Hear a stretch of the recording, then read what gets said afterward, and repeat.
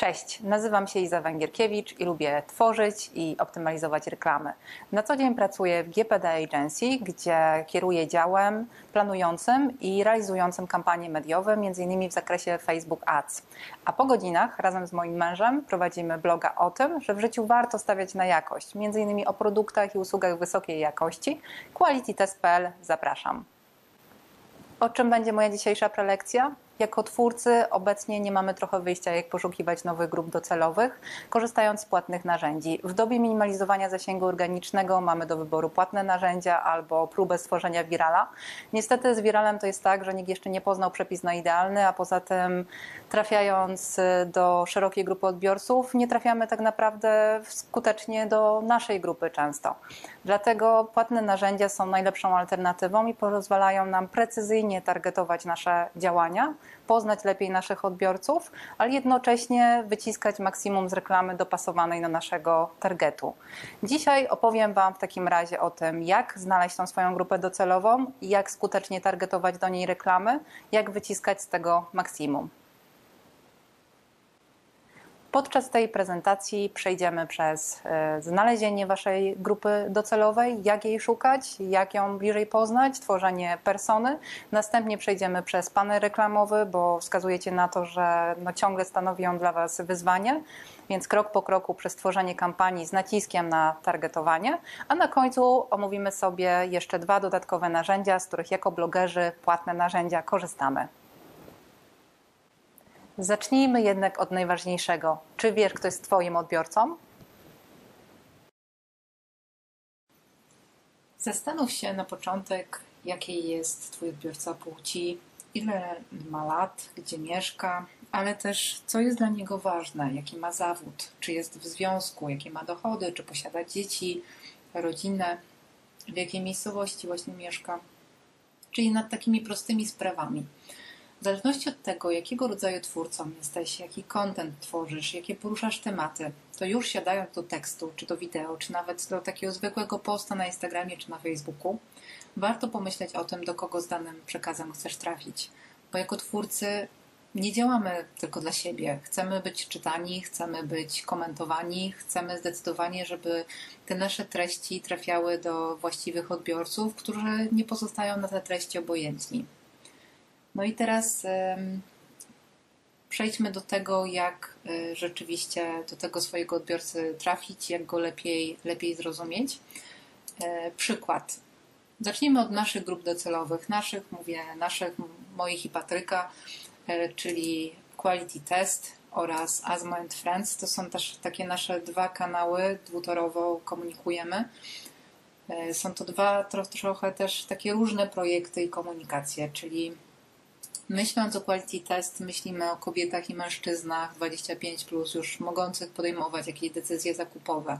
Osobach o jednak wyższych dochodach, ale też wyższych oczekiwaniach wobec życia, wobec przedmiotów, które kupują.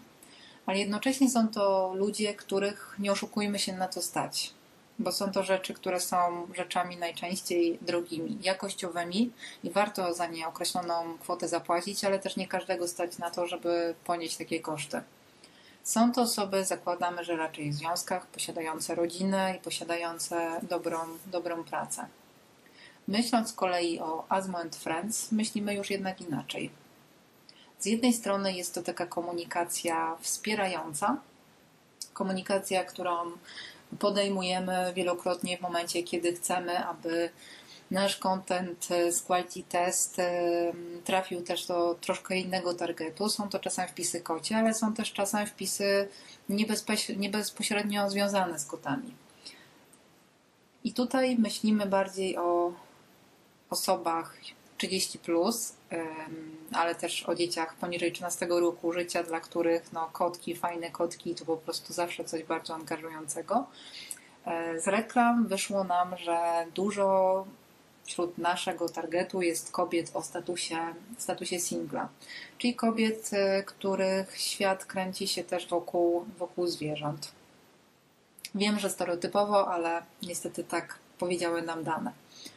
Chcąc więc taki target wyrównać, no bo mamy Asmo and Friends, jedna bajka, Quality Test inna bajka, jednocześnie kanały, które się mają wzajemnie wspierać i uzupełniać, to chcemy, aby Asmo Friends trafiało też do takiego bardziej świadomego i zamożnego targetu, więc wykorzystujemy taki kontekst koci kotów rasowych, bo też nie każdego stać na tego rodzaju kota. E, ale też zawężamy targetowanie, czyli zawężamy targetowanie do grupy takich bardziej świadomych konsumentów, na przykład zainteresowanych dobrami luksusowymi. I to jest ten element, który nam te dwa targety tutaj łączy. Skąd czerpać wiedzę o swoich grupach docelowych, zapytacie? No więc z narzędzi. Tak uważam, że najczęściej powinniśmy sięgać do narzędzi, które mamy, a każdy z Was zakładam, że takie narzędzia posiada. Podstawa, czyli Google Analytics. Jeśli prowadzicie bloga, no to koniecznie Google Analytics.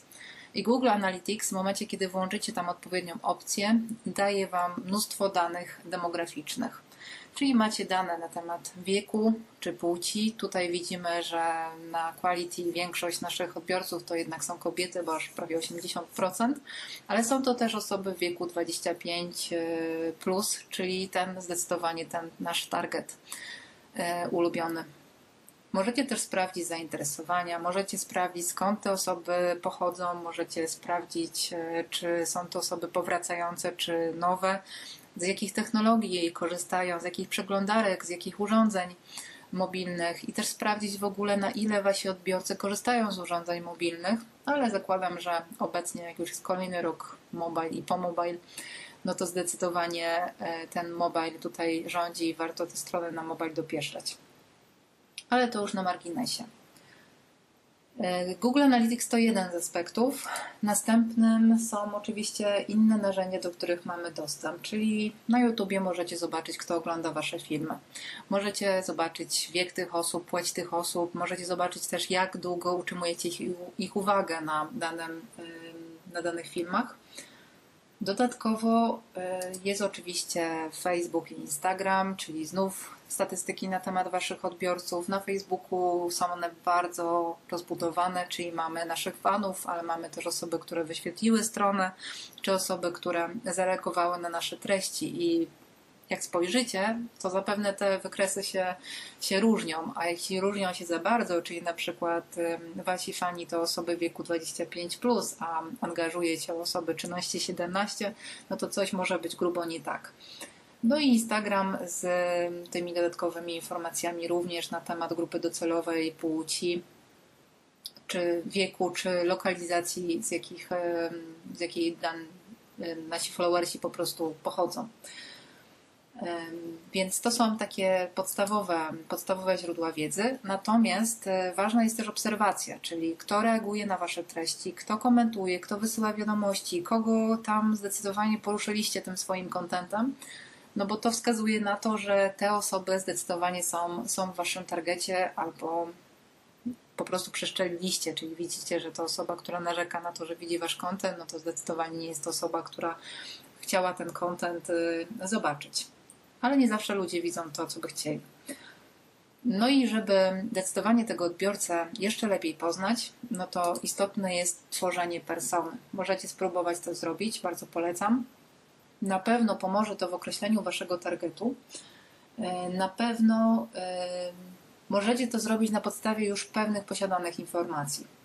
Czyli chodzi o to, żeby skorzystać z tych danych, które macie z różnych źródeł, też oprzeć się troszkę na własnej intuicji i zbudować coś na zasadzie takiego prawdziwego odbiorcy, czyli zamiast tych takich suchych danych, to po prostu skupić się na tym takim, na tej konkretnej osobie, która mogłaby być e, odbiorcą waszego kontentu.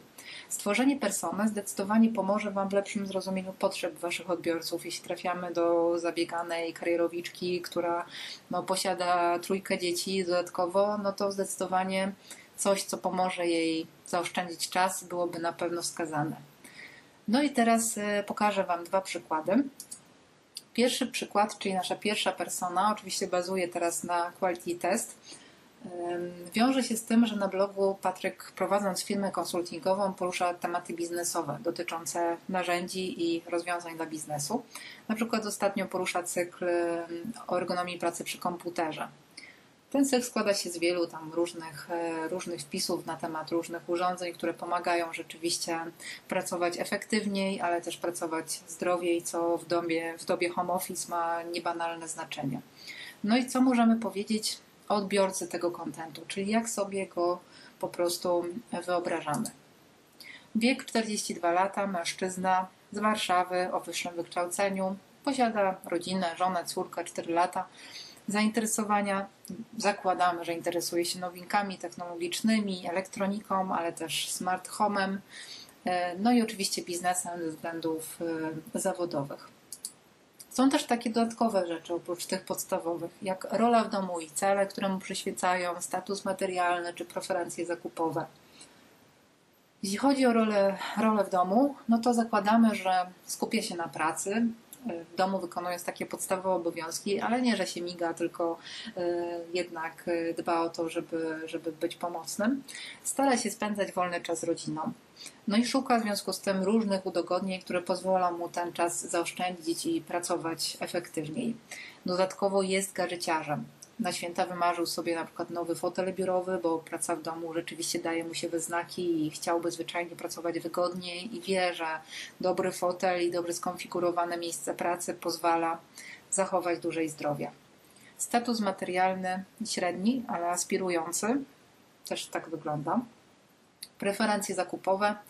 Kupuje dobre produkty w dobrej cenie, ale jest też w stanie, to co ważne, zapłacić za wysoką jakość jeśli produkt ma służyć latami, to jest w stanie zainwestować. Lubi też obejrzeć ten produkt przed zakupem, czyli no finalnie kupi przez internet, ale jednak pójdzie gdzieś sobie w sklepie obmacać e, i przetestować. No i przed zakupem czegokolwiek robi zdecydowanie dokładny research. Możemy oczywiście dodać pewne elementy, czyli ile wydaje, czy ma jakieś oszczędności, gdzie jeździ na wakacje. Tych danych na temat osoby można założyć jak najwięcej, w zależności od tego, co jest nam po prostu potrzebne jakie, jaką tematykę poruszamy w naszym materiale. E, być może będziemy pisać o jakichś kredytach na wakacje albo e, o jakichś destynacjach wakacyjnych, no i wtedy też w zależności od tego, jak drogie są te wakacje, tak szukamy sobie targetu i budujemy sobie tą personę. No i to jest jeden pierwszy przykład. No i teraz kwestia jednak trochę innej tematyki, czyli na quality tą tematykę mamy dość szeroką i tych person mamy sporo, natomiast często piszemy o rozwiązaniu dla domu. Na przykład o takiej smart wyciskarce, która mierzy też poziom tłuszczu, e, czy o odkurzaczu automatycznym ze stacją dokującą, która powoduje, że nie musisz opróżniać ciągle tego, tego odkurzacza, e, bo opróżnia się sam, jakkolwiek to brzmi. Są to generalnie rozwiązania, które mają założenia ułatwić ludziom, ludziom życie. No i kwestia, do kogo wtedy mówimy? Do naszej drugiej persony. Wiek 35, kobieta, miejsce zamieszkania, miasteczko Wilano, wykształcenie wyższe, rodzina, mąż, córka 2 lata, syn 4 lata. Zainteresowania bardzo szerokie, tutaj się nie pomieściły, ale literatura i kino, ale też trendy, zdrowe odżywianie, tematyka eko, pewnie mogłaby tutaj się pojawić aktywność fizyczna. Jest to osoba, która dba o siebie i dba o swoich bliskich. No i idąc dalej, rola w domu, cele, status materialny i preferencje, no to najważniejsza jest dla niej rodzina, ale też ona sama, czyli dba też o swoje potrzeby. Chce, aby jej bliscy odżywiali się i żyli zdrowo nie ma czasu w domu utrzymywać idealnej czystości, ponieważ pracuje, dlatego szuka rozwiązań, które by jej w tym pomogły. To, są to, co, to wszystko to są dane, które możemy wykorzystać w kampanii reklamowej. Jeśli chodzi o preferencje zakupowe, no to kupuję w internecie, bo tak jest najszybciej, a wyprawa z dziećmi do sklepu bywa po prostu wyzwaniem. Potrafi więcej zapłacić za produkt, który będzie po prostu dobry dla jej rodziny, czyli jest w stanie zainwestować w produkt wyższej jakości i dlatego znalazła się jako persona numer dwa jeśli chodzi o naszego bloga. Więc persony pomagają nam lepiej zrozumieć naszą grupę docelową, lepiej zrozumieć ich potrzeby, jednocześnie zdefiniować, kto tak naprawdę może być odbiorcą naszego konkretnego tekstu, wideo czy posta i pozwalają też przejść do następnego etapu, jak już wiemy, kim jest nasz odbiorca, to zapraszam Was do panelu reklamowego i poćwiczymy sobie targetowanie. Pokażę Wam też na naszym przykładzie, jak efektywna kosztowo może być dobrze zaplanowana oraz targetowana reklama. Zacznijmy od tego, czego robić nie warto, a więc funkcja promuj post. Zobaczycie ją na praktycznie pod każdym postem. Zazwyczaj jest aktywna, rzadko się zdarza, żeby nie.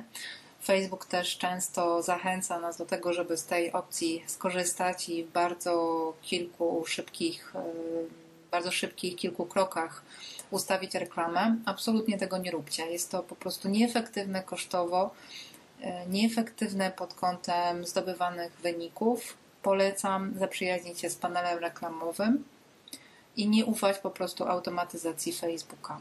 Zdecydowanie tych opcji w przypadku Promuj Post macie mniej niż w przypadku korzystania z panelu, panelu reklamowego. Najrozsądniej jest prowadzić działania w ramach tak zwanego biznes managera i tam stworzyć i podpiąć konto reklamowe, więc przejdźmy właśnie do tego panelu reklamowego. Menedżer reklam. Struktura kampanii na Facebooku wygląda tak, że mamy takie trzy poziomy. Jest to poziom kampanii, poziom zestawu reklam i poziom samej reklamy. Etap kampanii. E, tutaj już kliknęłam po prostu zielony przycisk utwórz, więc macie widok e, na ten pierwszy krok. Tworzymy nową kampanię. E, etap tworzenia kampanii pomaga, pomaga nam określić cel. Czyli musisz sobie zadać pytanie, czego oczekujesz, czy więcej interakcji, czy więcej wejść na stronę, czy może wysyłania przez odbiorców wiadomości. Realnie najlepiej testować różne cele po prostu i obserwować efekty. Dla mnie osobiście najbardziej wymierny jest, e, jest cel ruch, ale tutaj z optymalizacją podwyświetlania strony docelowej, a nie podkliknięcia. W momencie, kiedy określacie sobie ten cel, Facebook kieruje reklamy do osób, które z większym prawdopodobieństwem ten cel wypełnią. Czyli jeśli jest to ruch i kliknięcia, to do osób, które po prostu chętniej klikają w reklamę. Tylko wtedy ruch z takiego kliknięcia to jest zazwyczaj po prostu sekunda, dwie. I jest to ruch totalnie bezwartościowy pod kątem no, no choćby wyniku bloga więc na takim ruchu nam nie zależy, dlatego zawsze optymalizujcie pod wyświetlenia strony docelowej, ale do tego jest potrzebna instalacja piksela, o którym później. Oczywiście możemy wybrać selektywność, czyli chcemy więcej lajków, udostępnień, komentarzy, Wiadomo, że no, gdzieś tam ludzie na to patrzą, ale mimo wszystko jest to dość, dość nadal w przypadku reklam na Facebooku dość e, pusta, pusta wytyczna i zdecydowanie ruch jest bardziej, bardziej wymierny. Ale możemy też stworzyć kampanię pod wyświetlenia filmu, jeśli mamy wideo i to też jest ważne, bo jeśli puścicie kampanię na wideo pod, pod na przykład zasięg, do wyświetleń wideo będziecie mieli realnych bardzo, bardzo niewiele. Zresztą o takim celu jak zasięg to warto po prostu totalnie zapomnieć, bo wtedy ludzie scrollują i nawet nie widzą tak naprawdę realnie waszego posta, bo no nie zatrzymują się na nim najczęściej. A ten zasięg się liczy, więc jest to totalnie nieefektywne. Oczywiście można pozyskiwać kontakty, można przekierowywać użytkowników naszych do wiadomości, kolejna moja ulubiona kampania to cel tak naprawdę konwersje. Natomiast e, ta ostatnia no właśnie jest stosowana w przypadku najczęściej sklepów internetowych, a niekoniecznie na blogach. Chociaż przyznam szczerze, że na blogu mieliśmy taką, w analityce mieliśmy taką funkcję jak liczenie ile osób e, skonwertowało, czyli zostało na blogu na przykład powyżej 3 minut i to była całkiem, całkiem ciekawa dana. Natomiast etap, który nas najbardziej tutaj interesuje, załóżmy ruch, bo chcemy tutaj trafić do, po prostu do nowych odbiorców i przekierować ich do naszego, naszego kontentu, załóżmy, że poza Facebookiem. Kontynuujemy. Nowa kampania. Otworzyło nam się, że mamy aukcję, mamy ruch aukcje, czyli no licytujemy się po prostu z innymi użytkownikami. Optymalizacja budżetu kampanii oznacza, że jeśli to zaznaczę, to w momencie, kiedy będziemy mieli więcej niż jeden zestaw reklam, czyli ten drugi etap, no to Facebook zdecyduje, który będzie się wyświetlał, a który nie. Czasami jest to dobre, czasami Facebook decyduje dobrze, a czasami lepiej jednak mieć kontrolę nad tym, y, który zestaw reklam, jaki posiada, posiada budżet i który się wyświetla, żeby sprawdzić też, czy czasem Facebook się tutaj nie myli, a rzeczywiście to się czasem, y, czasami zdarza. Robimy dalej, mamy etap zestawu reklam. Etap y, zestawu reklam to jest ten etap, który rzeczywiście pomaga nam do określić targetowanie. Na tym etapie określacie czas y, trwania kampanii, określacie budżet, jeśli nie ma tej optymalizacji na poziomie kampanii No i właśnie określacie precyzyjnie, precyzyjnie target. Czyli z jednej strony macie tutaj, no macie lokalizację, czyli to jest ten pierwszy element. Lokalizacja może być naprawdę bardzo precyzyjna, do tego stopnia, że w momencie, kiedy w okolicy załóżmy są jakieś targi czy jakieś wydarzenie, których uczestnicy mogą być potencjalnie zainteresowani waszym kontentem, możecie zdecydowanie stargetować reklamę na tą właśnie miejscówkę i trafić do tych ludzi, którzy tam po prostu się znajdują. Jeśli sięgną po telefon, to prawdopodobnie mogą zobaczyć waszą, waszą reklamę w określonych e, godzinach, jeśli się tutaj zaplanujecie. E, następnie oczywiście wiekowo możemy targetować od 13 roku życia, 65 plus, płeć, no może być mężczyzna, kobieta. E, a to jest element tutaj szczegółowe opcje targetowania, który no, lubię najbardziej, czyli pewne dane demograficzne, zainteresowania i zachowania. I z jednej strony macie tutaj przeglądaj, czyli dane, które Facebook Wam podpowiada, że tak, już można po prostu z nich korzystać, takie jak wykształcenie, Niestety dane finansowe nie dotyczą Polski, niestety albo niestety. Wydarzenia z życia, czy są to osoby, które mieszkają daleko od miasta rodzinnego, czy daleko od rodziny, czy są krótko po przeprowadzce, może krótko po ślubie, czy się zaręczyli, czy nie wiem, mają nową pracę, czy nowy związek. Też osoby, które mają rocznicę w ciągu najbliższego czasu, może osoby, które mają urodziny, albo znajomi osób, które mają urodziny, tak by mogli im E, zrobić prezent albo znajomi nowożeńców. Więc tutaj tych opcji jest sporo. Są też rodzice, czyli rodzice dzieci w określonym wieku. To wszystko bazuje na danych, którymi dzieli się z reklamodawcami Facebook, a z którymi z Facebookiem dzielimy się no bądź co bądź e, jednak my. E, czy status związku, czy otwarte, czy skomplikowane, czy w związku, czy wolny, czy partnerski, E, czy praca, w jakich branżach, w jakich stanowiskach zawodowych, no i różnego rodzaju zainteresowania bardzo szerokie, od macierzyństwa przez teleturnieje, talk show, czy jakieś wydarzenia na żywo i możemy, nie wiem, targetować do osób, które są zainteresowane by, bywaniem w klubach nocnych. E, oczywiście sportem, oczywiście technologią, różnego rodzaju komputerem, czy sprzęt elektroniczny, czy zakupy i moda, jak na przykład różne kupony, czy różne zachowania typu aktywność cyfrowa, dostęp do Facebooka na starszych urządzeniach, osoby grające na konsolach, admini stron na Facebooku, to też jest bardzo ciekawa grupa, czy różne nawyki zakupowe, jak zaangażowani nabywcy, czyli osoby, które wiemy, że rzeczywiście dokonują zakupów gdzieś tam w internecie.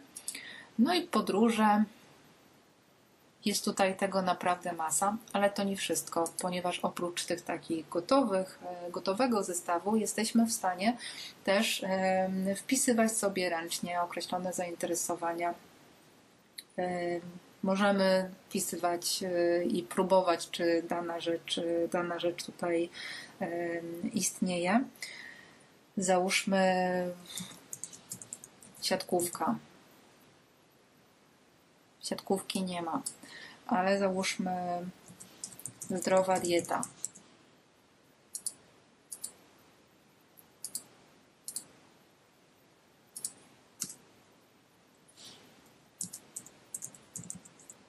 Zdrowa dieta była, widzę, że o właśnie, pojawiła się, czasami się zawiesza, więc mamy zdrową, y, mamy zdrową dietę i od razu mamy też propozycję, czyli healthy eating, żywność ekologiczna, diet food, masa ciała, kaloria, jedzenie, opieka, podróże, owoce. Gdzieś tam od razu, od razu podpowiada kolejne zainteresowania. Tutaj macie potencjalny zasięg, czyli do osób, które potencjalnie, do których potencjalnie możemy trafić. Oczywiście to zależy od budżetu. I szacowane wyniki dzienne, czyli jaki zasięg, ile wyświetleń strony docelowej może być teoretycznie e, dziennie. To, co warto robić, to na pewno testować, czyli nie ustawiajcie jednego zestawu reklam, uznając, że o tak, to jest moja persona, więc do niej po prostu będę targetować. Zróbcie ich przynajmniej kilka i po prostu zobaczcie, która zdecydowanie Wam najlepiej działa. Oczywiście czasem warto dla poszerzenia targetu nawet zapłacić trochę więcej za dotarcie do danej grupy, nowej grupy docelowej, ale mimo wszystko warto też zwracać na to, na to uwagę i jakby mieć możliwość porównania, a nie ufać, że ten nasz pierwszy wybór jest wyborem najlepszym. No i jeszcze jedna rzecz, o której po prostu koniecznie trzeba pamiętać, czyli tutaj jest taka opcja jak niestandardowe grupy odbiorców. To są grupy, które można tworzyć na podstawie różnych, różnych elementów. Grupa niestandardowych odbiorców, na przykład z własnych źródeł, czyli z witryny. Czyli jeśli zainstalujecie pixel Facebooka na swojej stronie internetowej, jesteście w stanie potem trafić do tych użytkowników w reklamie na Facebooku, czyli możecie uruchomić tak zwany remarketing ktoś był na stronie, ktoś przeglądał określone teksty z danej kategorii, no to wtedy zdecydowanie możecie te osoby jeszcze raz y, zachęcić do tego, żeby Was, was odwiedziły. Może być jeszcze film, czyli jeśli macie film, wideo i to wideo jest obejrzane przez określone osoby, no to możemy też do tych osób kolejny raz trafić. Możecie e, skorzystać z konta na Instagramie, też trafić do odbiorców, którzy się aktywizują na tym waszym koncie, czy aktywizują się na stronie na Facebooku. Tych opcji jest tutaj, jest tutaj sporo, a co ciekawe, na podstawie potem tych grup możecie stworzyć grupę podobnych odbiorców, czyli tak zwanych bliźniaków behawioralnych. Facebook wtedy jakby mm, określony procent użytkowników podobnych e, do tej grupy, którą sobie stworzyliście, e, przygotowuje i też możecie przetestować, jak ta grupa podobnych e, użytkowników działa. Często są to bardzo, bardzo, bardzo fajne, bardzo fajne wyniki. No i teraz Oczywiście zaraz przejdziemy jeszcze do, do, innych, y, do innych elementów, które warto testować, ale przejdźmy sobie jeszcze teraz do przykładu. Czyli na przykładzie naszej wyciskalki wolnoobrotowej do owoców pokażę Wam, jak to było targetowane jakie to miało efekty. Więc targetowaliśmy, tutaj są zaznaczone te opcje. Targetowaliśmy pod fitness, czyli osoby po prostu ćwiczące, pod rodziców i pod zdrową dietę. Możecie sobie, o, jak klikniemy edytuj, zobaczymy sobie, jak dokładnie to było stargetowane. No teraz pokażę niestety wszystkie trzy, ale odznaczymy i mamy tutaj dieta i zdrowa dieta 25-55 to jest ten nasz target na całą Polskę. I teraz tutaj macie wyniki, czyli widzicie, że fitness kosztował nas 70 groszy za wyświetlenie strony docelowej, czyli rozbój biały dzień tak naprawdę. E, rodzice kosztowali nas 19 groszy, zdrowa dieta kosztowała nas 12, 12 groszy, czyli tak naprawdę to był najbardziej efektywny zestaw, zestaw reklam. Gdybym nie puściła tych trzech zestawów reklam na te, na te kreacje, no to zdecydowanie niestety no, y, mogłabym zapłacić 70 groszy i się dziwić, że no, jest po prostu tak, tak drogo. Że to fajnie działa, to jeszcze zobaczycie, zobaczycie za chwilkę, bo te wyniki jakby są dla nas mocno, mocno satysfakcjonujące, chociaż zdarza się oczywiście mieć też wyświetlenie strony docelowej i, i za 5 groszy, ale to wszystko zależy tak naprawdę od, od kontentu, od tekstu, a ten tekst jednak był mocno mm, był mocno taką, taką recenzją. Widzimy wydatki. Jak widzicie, te wydatki tutaj one nie były, nie były duże na ten zestaw reklam. Wiadomo, że staramy się z każdej złotówki wyciągać po prostu jak, jak najwięcej. No i target tutaj, wracając, nie jest jedyną rzeczą, którą warto testować. Warto również testować i sprawdzać wyniki umiejscowień Moim ulubionym umiejscowieniem, zresztą no wyjaśniając umiejscowienia, to miejsca, gdzie ta, gdzie ta reklama będzie się po prostu wyświetlać. Jestem zwolenniczką reklam w aktualnościach, czyli sobie wyłączam, zostawiam Facebooka aktualności tutaj. Ale w przypadku kampanii na ruch warto je uzupełnić prawą kolumną i skrzynką odbiorczą Messengera. Od razu widzicie też tutaj po prawej stronie podgląd, y, podgląd reklamy, czyli jak to wygląda. Oczywiście nie Waszej reklamy, ale generalnie reklamy. Zmienia się też nasz potencjalny zasięg, kiedy ograniczamy umiejscowienia. Niemniej zawsze warto rozdzielać Facebooka i Instagrama z tego względu, że najczęściej, kiedy jest, e, są puszczone razem, no to Facebook mocno pcha Instagrama, zaniedbując e, Facebooka, a jednak ten ruch z Facebooka z naszych doświadczeń wynika, że jest często po prostu ruchem lepszej, lepszej jakości, ale wszystko zależy od konkretnego, od konkretnego tekstu. E, więc e, warto testować, warto zobaczyć, na przykład e, stworzyć zestaw i, sprawdzić, jak wygląda Wasza kreacja w relacjach, czyli jakie tam wyniki będą. Na przykład na Insta Stories to jest coś, co rzeczywiście no, może w Waszym przypadku okazać się na przykład hitem, że rzeczywiście tam jest po prostu najtaniej. Te umiejscowienia warto testować, warto też analizować wyniki.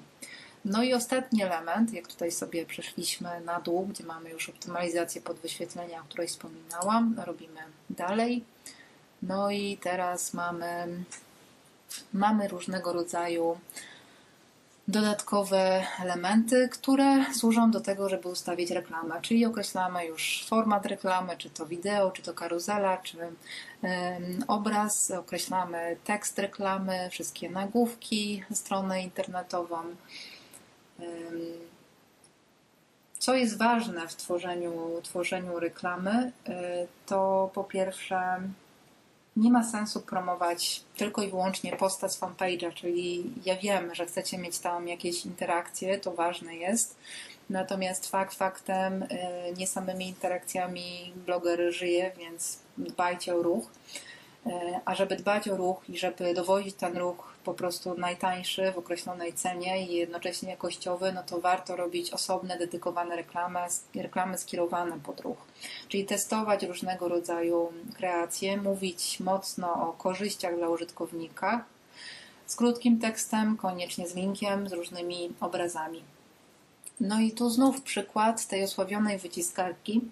Spójrzcie, ile kreacji było testowanych w tej kampanii z trzema różnymi komunikatami, czyli mamy różnego rodzaju kopii z dużą ilością zdjęć. Kreacje, które działały, znaczy nie działały dobrze albo przedrażały kampanię, zostały po prostu tutaj wyłączone.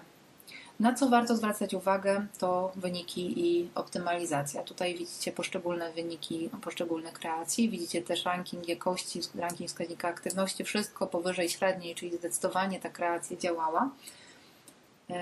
I o optymalizacji wspomniałam na początku, że ją lubię. E, spoglądajcie, co jest tańsze w jakiej grupie. W panelu reklamowym macie dostęp do tych danych, w których zobaczycie dokładnie, w jakiej grupie Wasza kampania jest najbardziej efektywna, na jakich, na jakich umiejscowieniach. To jest tutaj, czyli według wyświetleń mamy na przykład wiek, płeć, no i widzimy, ile w danej grupie nas po prostu dana kreacja kosztowała która grupa działa nam po prostu najlepiej. Tutaj widzimy na przykład, że działało 45-54 kobieta, gdzie wynik był za 10 groszy, choć mały, mały zasięg, bo ta kreacja została wyłączona. Ale tutaj mamy na przykład 55-64 mężczyzna, też bardzo mało, ale za 5 groszy. E, troszkę większy zasięg mamy tutaj za 12 groszy. No i to wszystko się sprowadza do tego, że średni koszt y, wyświetlenia był na poziomie tutaj 12 groszy za wyświetlenie strony docelowej. Więc tak to wygląda z perspektywy panelu. Pamiętajcie o testowaniu, pamiętajcie o tym, żeby czytać Wasze wyniki, pamiętajcie o tym, żeby rzeczywiście tych zestawów reklam i grup testować zdecydowanie więcej niż jedna. Nie samym Facebookiem jednak influencer żyje, więc jako twórcy szukamy różnych nowych metod dotarcia do swoich odbiorców, testujemy różne płatne narzędzia i chciałabym jeszcze wspomnieć o dwóch z nich, które uważam za taki must have. Pierwsze narzędzie, o którym chcielibyśmy wspomnieć, chciałabym wspomnieć, to kampania w wyszukiwarce Google, czyli Google, Google Search tym obszarze tak, tak naprawdę najważniejsze jest dobranie odpowiednich słów kluczowych.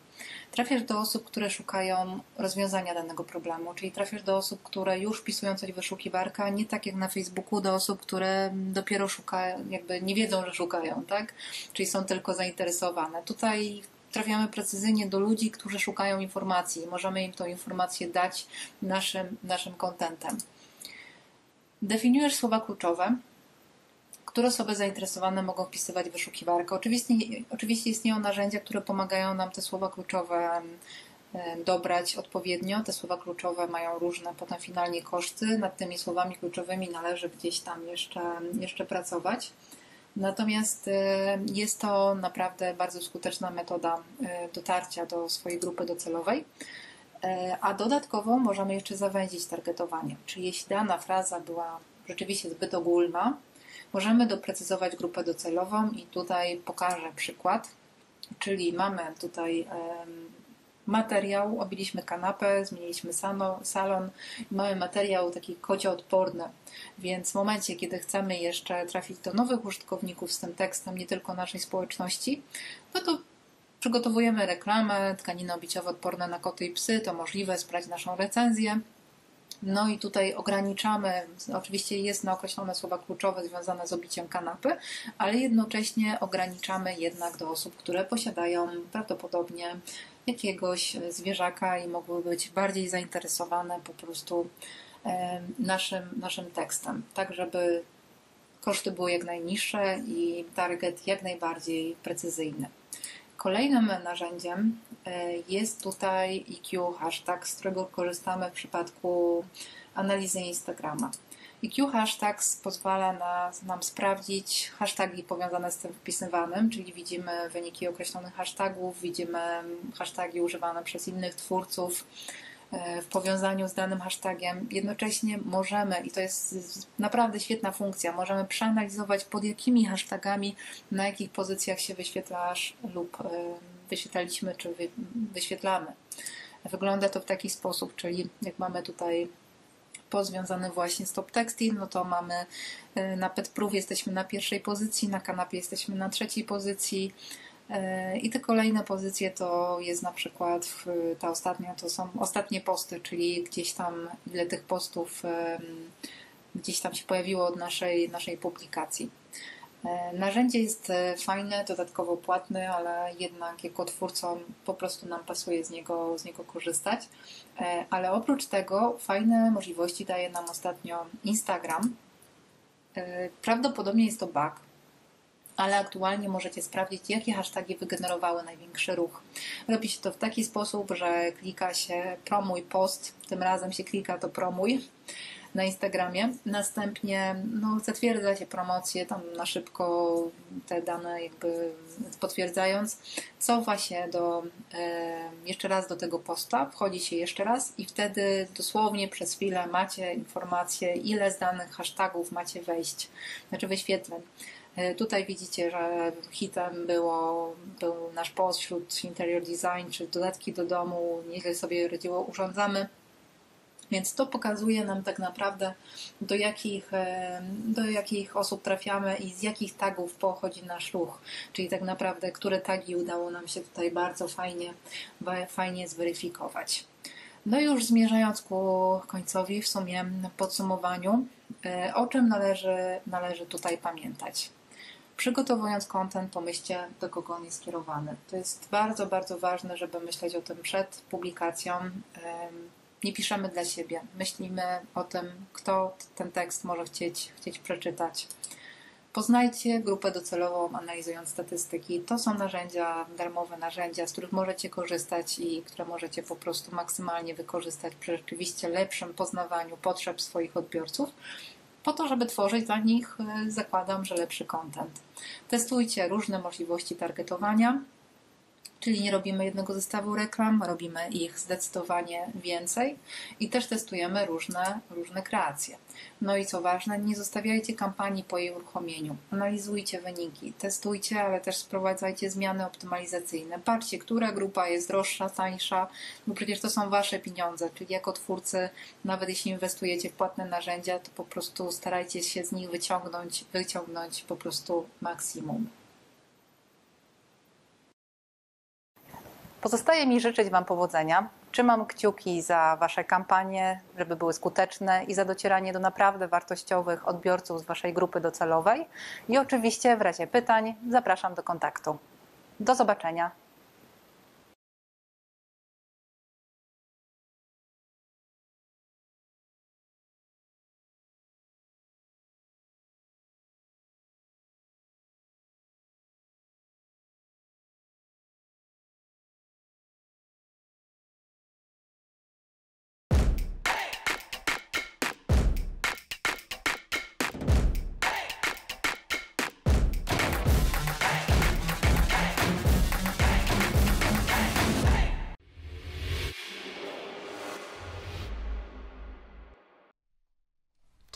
Nazywam się Dagmara Kokoszka-Lasota i opowiem Ci dzisiaj o reklamie na Facebooku i Instagramie.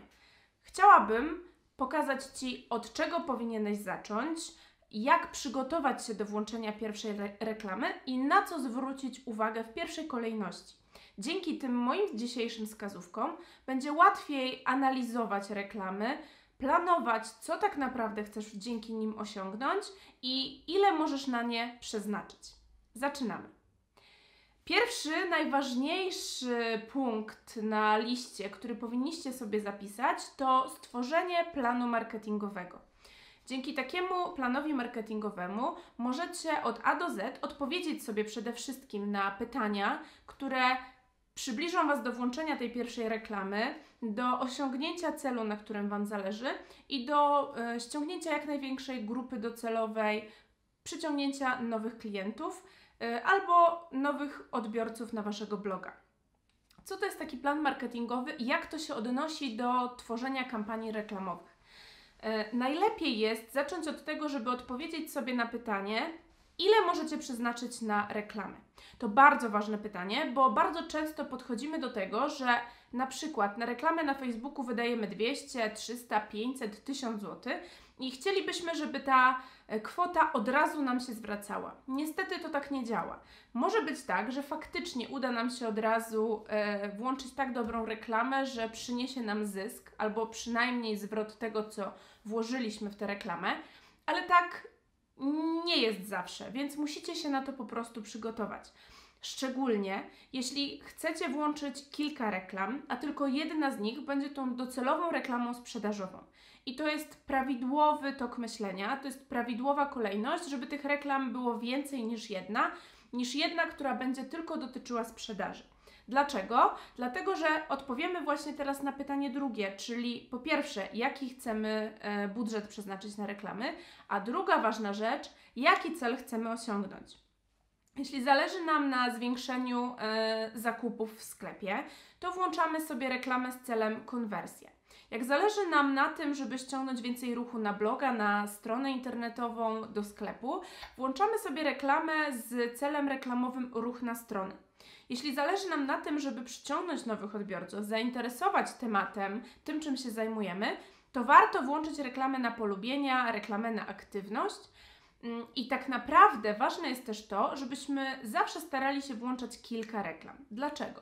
Dlatego, że y, na przykład y, zaczynając od reklamy na polubienia, reklamy na aktywność albo reklamy na ruch, czyli tak naprawdę wszystkich reklam, które przyciągną nam nowych odbiorców na stronę, możemy ściągnąć sobie grupę docelową do reklam sprzedażowych. Będzie nam łatwiej włączyć kampanię sprzedażową na tak zwany ciepły ruch, czyli osoby, które miały już kontakt z naszą marką, bo być może weszły wcześniej na nasz sklep właśnie z tych reklam na ruch na stronę, niż włączać zupełnie zimne reklamy na osoby po zainteresowaniach. Mm, dlatego warto właśnie zaplanować to sobie wieloetapowo tak naprawdę odpowiadając na pytanie, jaki jest cel naszej reklamy, możemy zaplanować krok po kroku, jak te etapy mają wyglądać i jakich odbiorców musimy ściągnąć wcześniej, co musimy zrobić, w jaki sposób ich zainteresować, żeby oni ostatecznie byli zainteresowani zakupem w naszym sklepie. E, więc kolejne pytanie, na które musimy sobie wcześniej, zanim w ogóle włączymy kampanię reklamową, odpowiedzieć, to to, do kogo my te reklamy chcemy wyświetlać. Bardzo ważne jest to, żeby zwrócić uwagę, że my nie włączamy reklam na chybił trafił. To nie jest to tolotek, że możemy sobie e, wejść, powiedzieć do pani, niech pani coś tam ustawi, albo zadziała, albo nie zadziała.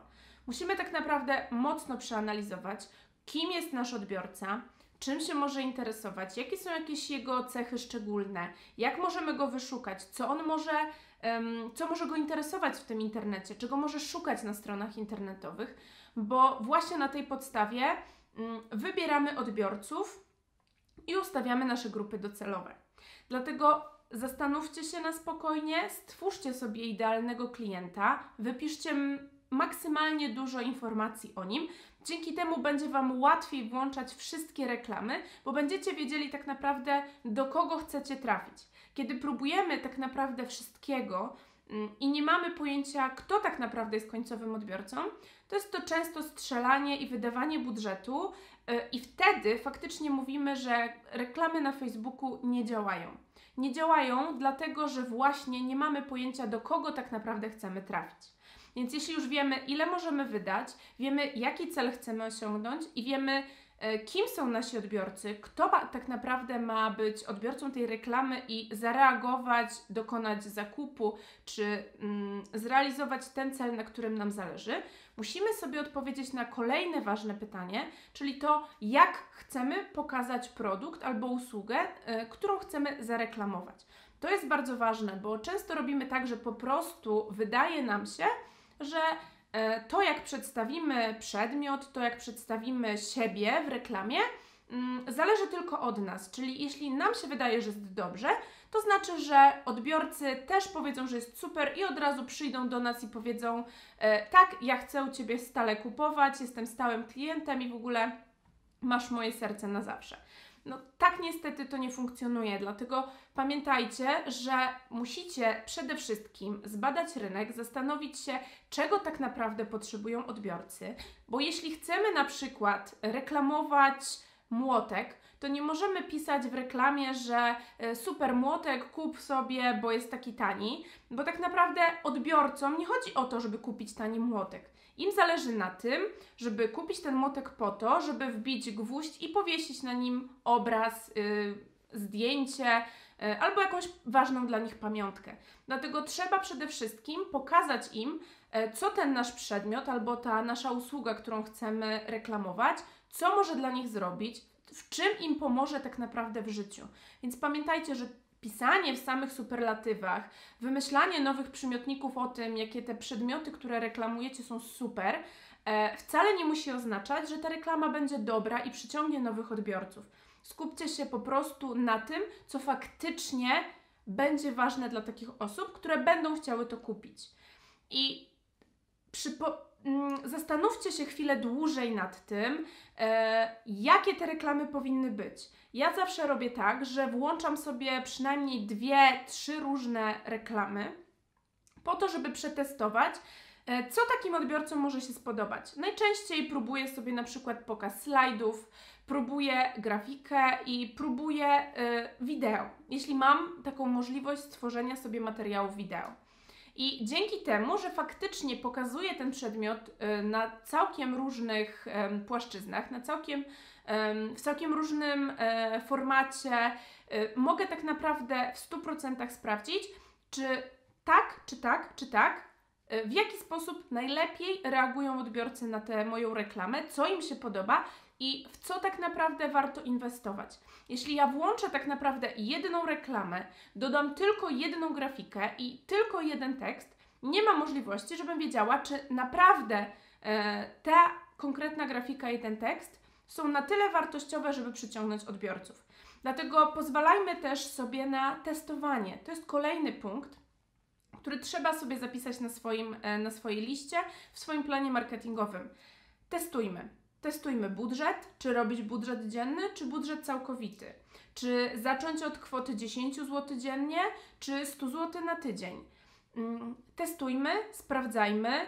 E, tak samo łączmy sobie e, grupy docelowe. Tworząc jedną kampanię, utwórzmy sobie dwie, trzy grupy. Mm, na przykład w jednej kampanii zróbmy sobie grupy ciepłe, Przypuśćmy osoby, które były aktywne w stosunku do fanpage'a, osoby, które były aktywne na naszym Instagramie, osoby, które były na stronie internetowej. W innej kampanii stwórzmy sobie lookalike'i do tych grup, czyli grupy podobne, a w jeszcze innej kampanii stwórzmy sobie y, zupełnie nowe grupy po zainteresowaniach. Dzięki temu przetestujemy sobie tak naprawdę te grupy między sobą, zobaczymy, które działają, jak działają, które warto utrzymywać, które faktycznie realizują te cele, na których nam zależy, bo nie zwracajcie uwagi tylko na to, jakie są koszty tych reklam, bo czasem może się okazać, że reklama, która tak naprawdę jest najtańsza, nie przynosi nam e, zbyt dużego zysku, czyli na przykład płacimy na, za zakup 2 zł, ale wartość tego zakupu jest równa 40 zł. A na przykład jest druga reklama, w której koszt zakupu jest 10 zł, ale wartość zakupów jest na przykład 10-15 razy większa. Dlatego analizujmy to zawsze wieloetapowo.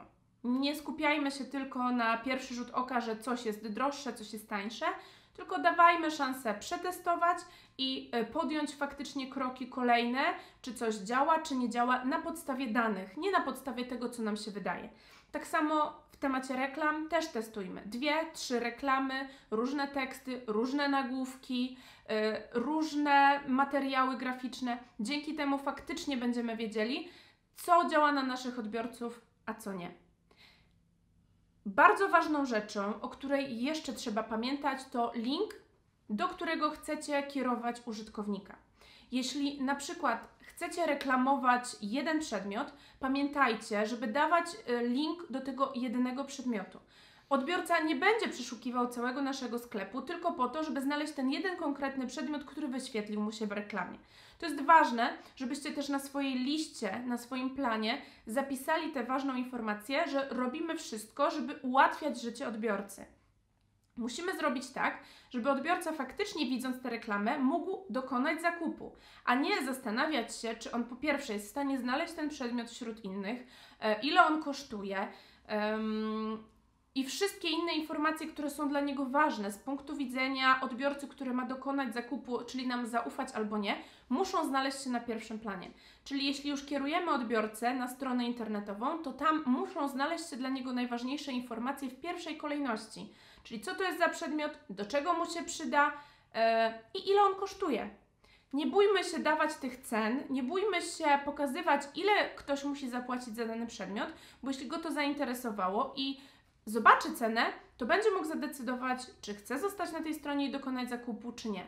To ważne, bo my często ukrywamy te ceny na końcu strony i odbiorcy, zanim w ogóle dojdą do tej ceny, zniechęcają się i wychodzą, bo nie wiedzą tak naprawdę, ile mają za to zapłacić.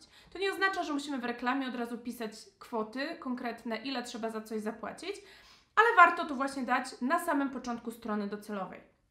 Więc kolejny ważny punkt na naszej liście, w naszym planie marketingowym to to, żeby pamiętać o tym, jaka jest strona lądowania, jaka jest strona, do której kierujemy odbiorcę z naszej reklamy. Zawsze musimy to przetestować, sprawdzić też, jak wygląda taka strona na telefonie, bo odbiorcy bardzo często wchodzą na przykład w reklamy na telefonie, a przypuśćmy zakupu dokonują już z komputera. Więc musimy sprawdzić zarówno e, telefon, jak i komputer, żeby mieć faktyczne porównanie, czy wszystko na naszej stronie działa prawidłowo. Tak naprawdę to wszystko, o czym Wam dzisiaj opowiedziałam, to najważniejsze punkty, które trzeba zapisać na swojej e, marketingowej liście to do, zanim włączymy kampanię reklamową. E, jak już uda Wam się przejść przez wszystkie te punkty, musicie jeszcze pamiętać o jednej rzeczy, że włączając już kampanię reklamową, musicie jej dać też czas na nauczenie się, na rozruszanie się, rozkręcenie, sprawdzenie, czy wszystkie te rzeczy, które włączyliście, które chcecie przetestować, mm, faktycznie podobają się odbiorcom. Więc kiedy już włączycie kampanię reklamową, dajcie jej te 7 dni na wyjście z fazy uczenia się i dzięki temu te Wasze wyniki po tych kilku dniach będą dopiero wiarygodne. Więc e, kiedy już zrobicie to wszystko, o czym mówiłam wcześniej, musicie się przede wszystkim uzbroić w cierpliwość, nie zmieniać ciągle, nie wchodzić w te reklamy, nie analizować dnia po dniu, bo tak naprawdę e, ważna jest średnia z danego okresu, a nie e, poszczególne dni, godziny, bo Facebook zlicza też te dane z opóźnieniem. Dlatego podchodźcie do tego zdroworozsądkowo i zawsze zastanawiajcie się, jakie są fakty, nie dopowiadajmy sobie nic w temacie reklam i analizujmy po prostu to na chłodno. Czy faktycznie nam się to opłaca, czy nie? Czy warto utrzymywać te reklamy w przyszłości, czy jednak trzeba z tego zrezygnować? Mam nadzieję, że opowiedziałam Wam dzisiaj o wszystkim, e, o wszystkich ważnych rzeczach, które przydadzą Wam się, zanim zaczniecie swoją przygodę z reklamami na Facebooku. E, I dzięki temu, co Wam dzisiaj powiedziałam, będzie Wam łatwiej rozpisać to sobie i zacząć osiągać swoje cele. Trzymam kciuki i życzę powodzenia.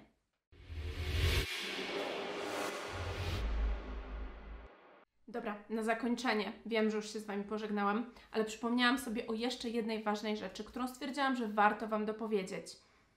Przede wszystkim, zanim zaczniecie swoją przygodę z reklamami na Facebooku, musicie poznać narzędzie, w którym macie te reklamy włączać. Więc spróbujcie zaprzyjaźnić się z menadżerem reklam, przeklikać sobie różne opcje, wejść w te wszystkie zakładki, zobaczyć jak to wszystko funkcjonuje, bo zobaczycie, że dużo łatwiej będzie Wam włączyć kampanię reklamową, jeśli będziecie wiedzieli na czym pracujecie, jak odczytywać wyniki, e, jakie macie możliwości. To jest ważna rzecz. Ja zawsze próbuję e, zapoznać się z narzędziem, z systemem, z którym będę miała do czynienia, e, tylko po to, żeby te wyniki były jeszcze lepsze.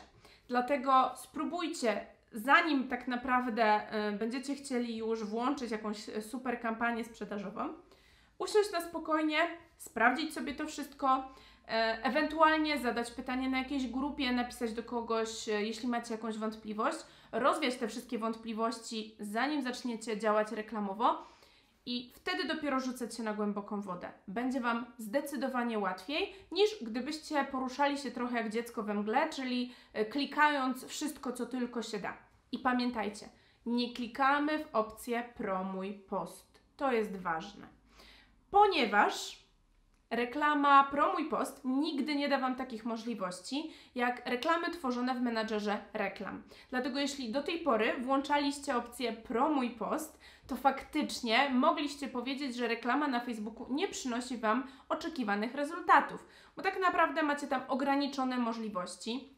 Nie możecie, e, przypuśćmy, dostosować obrazu do story, e, dostosować wielu rzeczy, które są w menadżerze reklam, więc nie bójcie się tego menadżera reklam. Testujcie, próbujcie, on naprawdę nie gryzie, mimo że często się zmienia, więc pamiętajcie, że nawet jak zapoznacie się z jakimś materiałem dotyczącym menadżera reklam, może za jakiś czas się okazać, że nie jest to już tak naprawdę jeden do jednego e, prawda, bo wszystko się zdążyło zmienić. Ale pamiętajcie, że chodzi tylko o to, żebyście mniej więcej wiedzieli, co gdzie jest, jak jakie są funkcje, z czego możecie korzystać. I wtedy zobaczycie, że będzie dużo łatwiej Wam się w tym menadżerze poruszać i te reklamy będą skuteczniejsze. Pamiętajcie też, że możecie sobie rozszerzyć możliwość raportowania. Jest dużo więcej funkcji, jest dużo więcej informacji, które można z tych reklam wyciągnąć, niż widać to na pierwszy rzut oka. Nie bójcie się tego, testujcie, próbujcie, bo to jest naprawdę ważne i przydatne, bo na pierwszy rzut oka może Wam się wydawać, że ta reklama nie przynosi Wam oczekiwanych rezultatów, ale może się okazać po głębszej analizie, że faktycznie są jakieś czynniki, które wpływają na to, że ona jest dla Was w pewien sposób wartościowa i warto ją utrzymywać. Dlatego sprawdźcie to sobie na spokojnie, być może na tych reklamach, które włączaliście do tej pory, przeanalizujcie, próbujcie, klikajcie i wtedy tak naprawdę możecie zacząć swoją przygodę ze świadomą reklamą i z osiąganiem rewelacyjnych wyników. Powodzenia!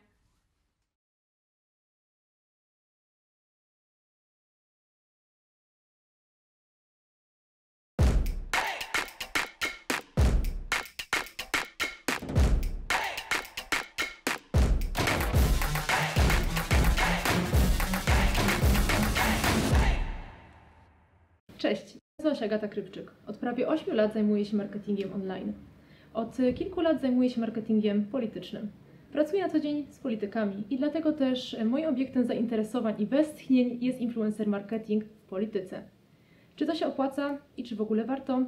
Dowiecie się oglądając tą prezentację. Każdy influencer przed tym, niż rozpocznie współpracę z politykiem, zastanawia się, po co mi to? Czy warto? Warto, z wielu powodów, ale to zależy. Dlaczego? E, ponieważ każdy z nas jest inny. Każdy z influencerów prowadzi swoją inną ścieżkę. I żeby ta ścieżka spotkała się z politykiem, trzeba dobrze przemyśleć swoje działania. Influencer marketing polityczny może być bardzo dobrym ruchem dla polityka, ale może być też zgubą dla influencera. Nieprzemyślane kampanie są niestety pierwszym krokiem do kryzysu. Z czym kojarzą nam się politycy? Politycy to wszystko to, co złe. To przecież są kłótnie, nieczyste interesy, ciągła walka o władzę. A kiedy tylko wchodzimy na profil polityka, widzimy ogrom hejtu, nienawiści. A w radio same kłótnie. To nic dobrego. Więc czy chcemy się z nimi zadawać? Influencerzy znów to to, co dobre. To dobry przekaz, budowanie kontentu, polecanie dobrych rzeczy a przede wszystkim budowanie dobrego zaangażowania i inspirowanie. Czy te drogi mogą się jakoś spotkać? Oczywiście, że tak. I polityków, i influencerów łączy dosyć wiele. Ale łączą ich zasięgi, budowane w różny sposób. U polityków często jest to przez afery, kontrowersje, a także przez media klasyczne. Tak w swojej piosence powiedział: Wygrywa ten, kto głośniej krzyknie: Panie, to wyście. I właśnie tacy są politycy. Panie, to wyście. To wyście kradli, to wyście robili wszystko źle. A influencerzy? Influencerzy to przecież społeczność. Dlatego jesteśmy dzisiaj na tej konferencji, bo budujemy społeczność, dzielimy się naszą wiedzą, a przede wszystkim chcemy się inspirować wzajemnie. Budujemy swoje zasięgi w nowych mediach. Ale patrząc na ten slajd, można zobaczyć jedno. Kiedy tylko zniknę polityków, widzimy jedną zależność. Influencerzy także zaliczają wpadki, afery, kontrowersje. Ale kto nie chciałby usiąść na kanapie w Dzień Dobry TVN albo w Pytanie na śniadanie? Właśnie. Klasyczne media także nas interesują. Skąd wziął się w ogóle ten temat? Kampanie polityczne trzeba wygrać. Po to startujemy, po to inwestujemy swoje pieniądze, by wygrać. Kiedyś było troszeczkę łatwiej, ale czy nie do końca? Kennedy wygrał dzięki telewizji, Obama dzięki internetowi, a dziś wygrywa się dzięki zasięgom. Już w 2008 roku Barack Obama przekonał się o tym, że wsparcie celebrytów, influencerów jest bardzo ważne. Dzięki poparciu Opry, tą, którą widzimy właśnie na zdjęciu, dzięki poparciu Opry y, Barack Obama zyskał aż milion głosów. Ten milion głosów sprawił, że mam, był prezydentem. Ten milion głosów przesądził o wielu rzeczach. Statystyki mówią same za siebie. Influencer marketing angażuje tych najmłodszych, 18 do 25. To grupa naj, najniechętniej chodząca na wybory, bo młodzi ludzie nie interesują się polityką. A właśnie dzięki influencerom ich zainteresowanie wzrasta i co ciekawe, aż o 25%. 25% osób młodych poszło na wybory w Ameryce tylko dlatego, że takie osoby jak Miley Cyrus poparły na przykład Hillary Clinton. Poczuli zaangażowanie, dlatego też wybrali się na te ważne wybory. Mówi się, że w 2020 roku najważniejsi w kampanii politycznej będą właśnie influencerzy. Oni pozwolą dotrzeć kandydatom do osób w wieku 25 do 35. To ta grupa jest najbardziej niepewna. O te głosy trzeba zawalczyć. Przeciwnym razie może czekać kandydata klęska. Aż 50% więcej młodych osób pójdzie teraz na wybory. Tylko dlatego, że poczują, że ci politycy są bliżej nich. Bliżej nich dlatego, że influencerzy, że celebryci postanowili zaangażować się w kampanię. I właśnie dlatego politycy także bardzo zabiegają o względy influencerów. Bernie Sanders ma 78 lat i można powiedzieć, że do młodych ludzi takie osoby już nie docierają. Co ciekawe, największe zaangażowanie wśród wyborców, według statystyk z lutego, miał w osobach w wieku 18 do 24 lata. I to pokazuje jeden trend, że influencer marketing pozwala ocieplić polityka, a także pokazać, że nie trzeba być rówieśnikiem, żeby się wspierać. Każde selfie, każde wzmianki na Instagramie, na Facebooku sprawiają jedno zasięgi. A zasięgi teraz są bardzo ważne, bo jedno selfie to tysiące złotych zainwestowane w reklamę, marketing. Zainwestowane, ale nie wpłacone. Dzięki temu influencerzy napędzają zasięgi politykom, a polityk nie musi po prostu wydawać kolejnego budżetu na reklamę. Chociaż niektórzy budżety wydają. Mamy za sobą e, już półmetek kampanii prezydenckiej w Stanach e, i mieliśmy też różne ciekawe incydenty związane z influencerami w polityce. Mike Bloomberg e, postanowił zakupić komentarze od mikroinfluencerów. Wywołało to dosyć dużą falę w Ameryce, dlatego że płacił za jeden komentarz lub mema politycznego 150 dolarów. To jest dużo i mało. Dużo z tego powodu, że raczej gwiazdy angażują się w tą politykę bezodpłatnie. Mało z tego powodu, że patrząc na wolumeny reklamowe w Stanach ile płaci się influencerom za promowanie produktów, to kwota jest dosyć stosunkowo mała. Niestety e, pan Mike robił to dosyć nieudolnie. Pisał do influencerów, e, a oni nie do końca chcieli go wspierać nawet za te pieniądze. Bo to jest wszystko kwestia etyki. Jeśli kupujemy zaangażowanie, jeśli kupujemy czyjeś poparcie, to etycznie dla naszych fanów jest to złą rzeczą. Bo o ile produkty, wiadomo, jest to rzecz materialna, którą, na której ktoś mocno zarobi. Wartości nie są materialne. Nie można wycenić tego, czy ja wspieram takie, a takie wartości. To jest rzecz niemierzalna. Więc jak wycenić, ile influencer powinien dostać pieniędzy za popieranie danego polityka? I tutaj mamy kilka przykładów już e, z Polski. Szczególnie COVID sprawił, że wszystko przeniosło się do internetu. Przenieśli tam także politycy, chociaż oni zawsze tam byli. Od wielu prowadzą sobie fanpage, Instagramy, niektórzy nawet zaczęli pojawiać się na TikToku. A teraz postanowili wyjść troszeczkę dalej. Na przykład Mateusz Morawiecki, nasz premier, który pojawił się u Blowka w, na kanale, gdzie obalał fakty dotyczące COVID-u. Świetny cel wizerunkowy. Spełniony bardzo dobrze. Jest trochę takiego ocieplenia wizerunku. Jednak całość nie wyszła tak, jak pan Mateusz sobie założył. Niestety był dosyć sztywny, żarty były rzucane od tak, przez co komentarze u Blowka także były, jakie były. Ale Blowek postanowił zrobić jedną bardzo dobrą rzecz. Zadeklarował, że wszystkie pieniądze z reklam płatnych na YouTubie zostaną przekazane na cele charytatywne. Taka współpraca nie tylko pozwala politykowi ocieplić swój wizerunek, ale także zrobić coś dobrego dla społeczeństwa. Budujemy tym właśnie zaufanie. A zaufanie w internecie jest bardzo ważne. Chciałabym się też zatrzymać przy kanale Imponderabilia Karola Paciorka, ponieważ Karol w tej kampanii i w marketingu politycznym zrobił bardzo wiele w ostatnich miesiącach. Już w 2018 Karol zaprosił swojego programu Roberta Biedronia na 30-minutową rozmowę na temat polityki, ale nie tylko.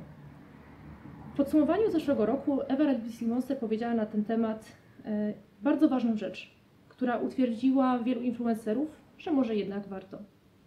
Influencerzy przez rozmowy z politykami pokazują tą ludzką stronę polityków, bo nam się wydaje, że polityk jest taki odległy, za szklaną szybą, zawsze zły, zawsze smutny i zawsze walczący.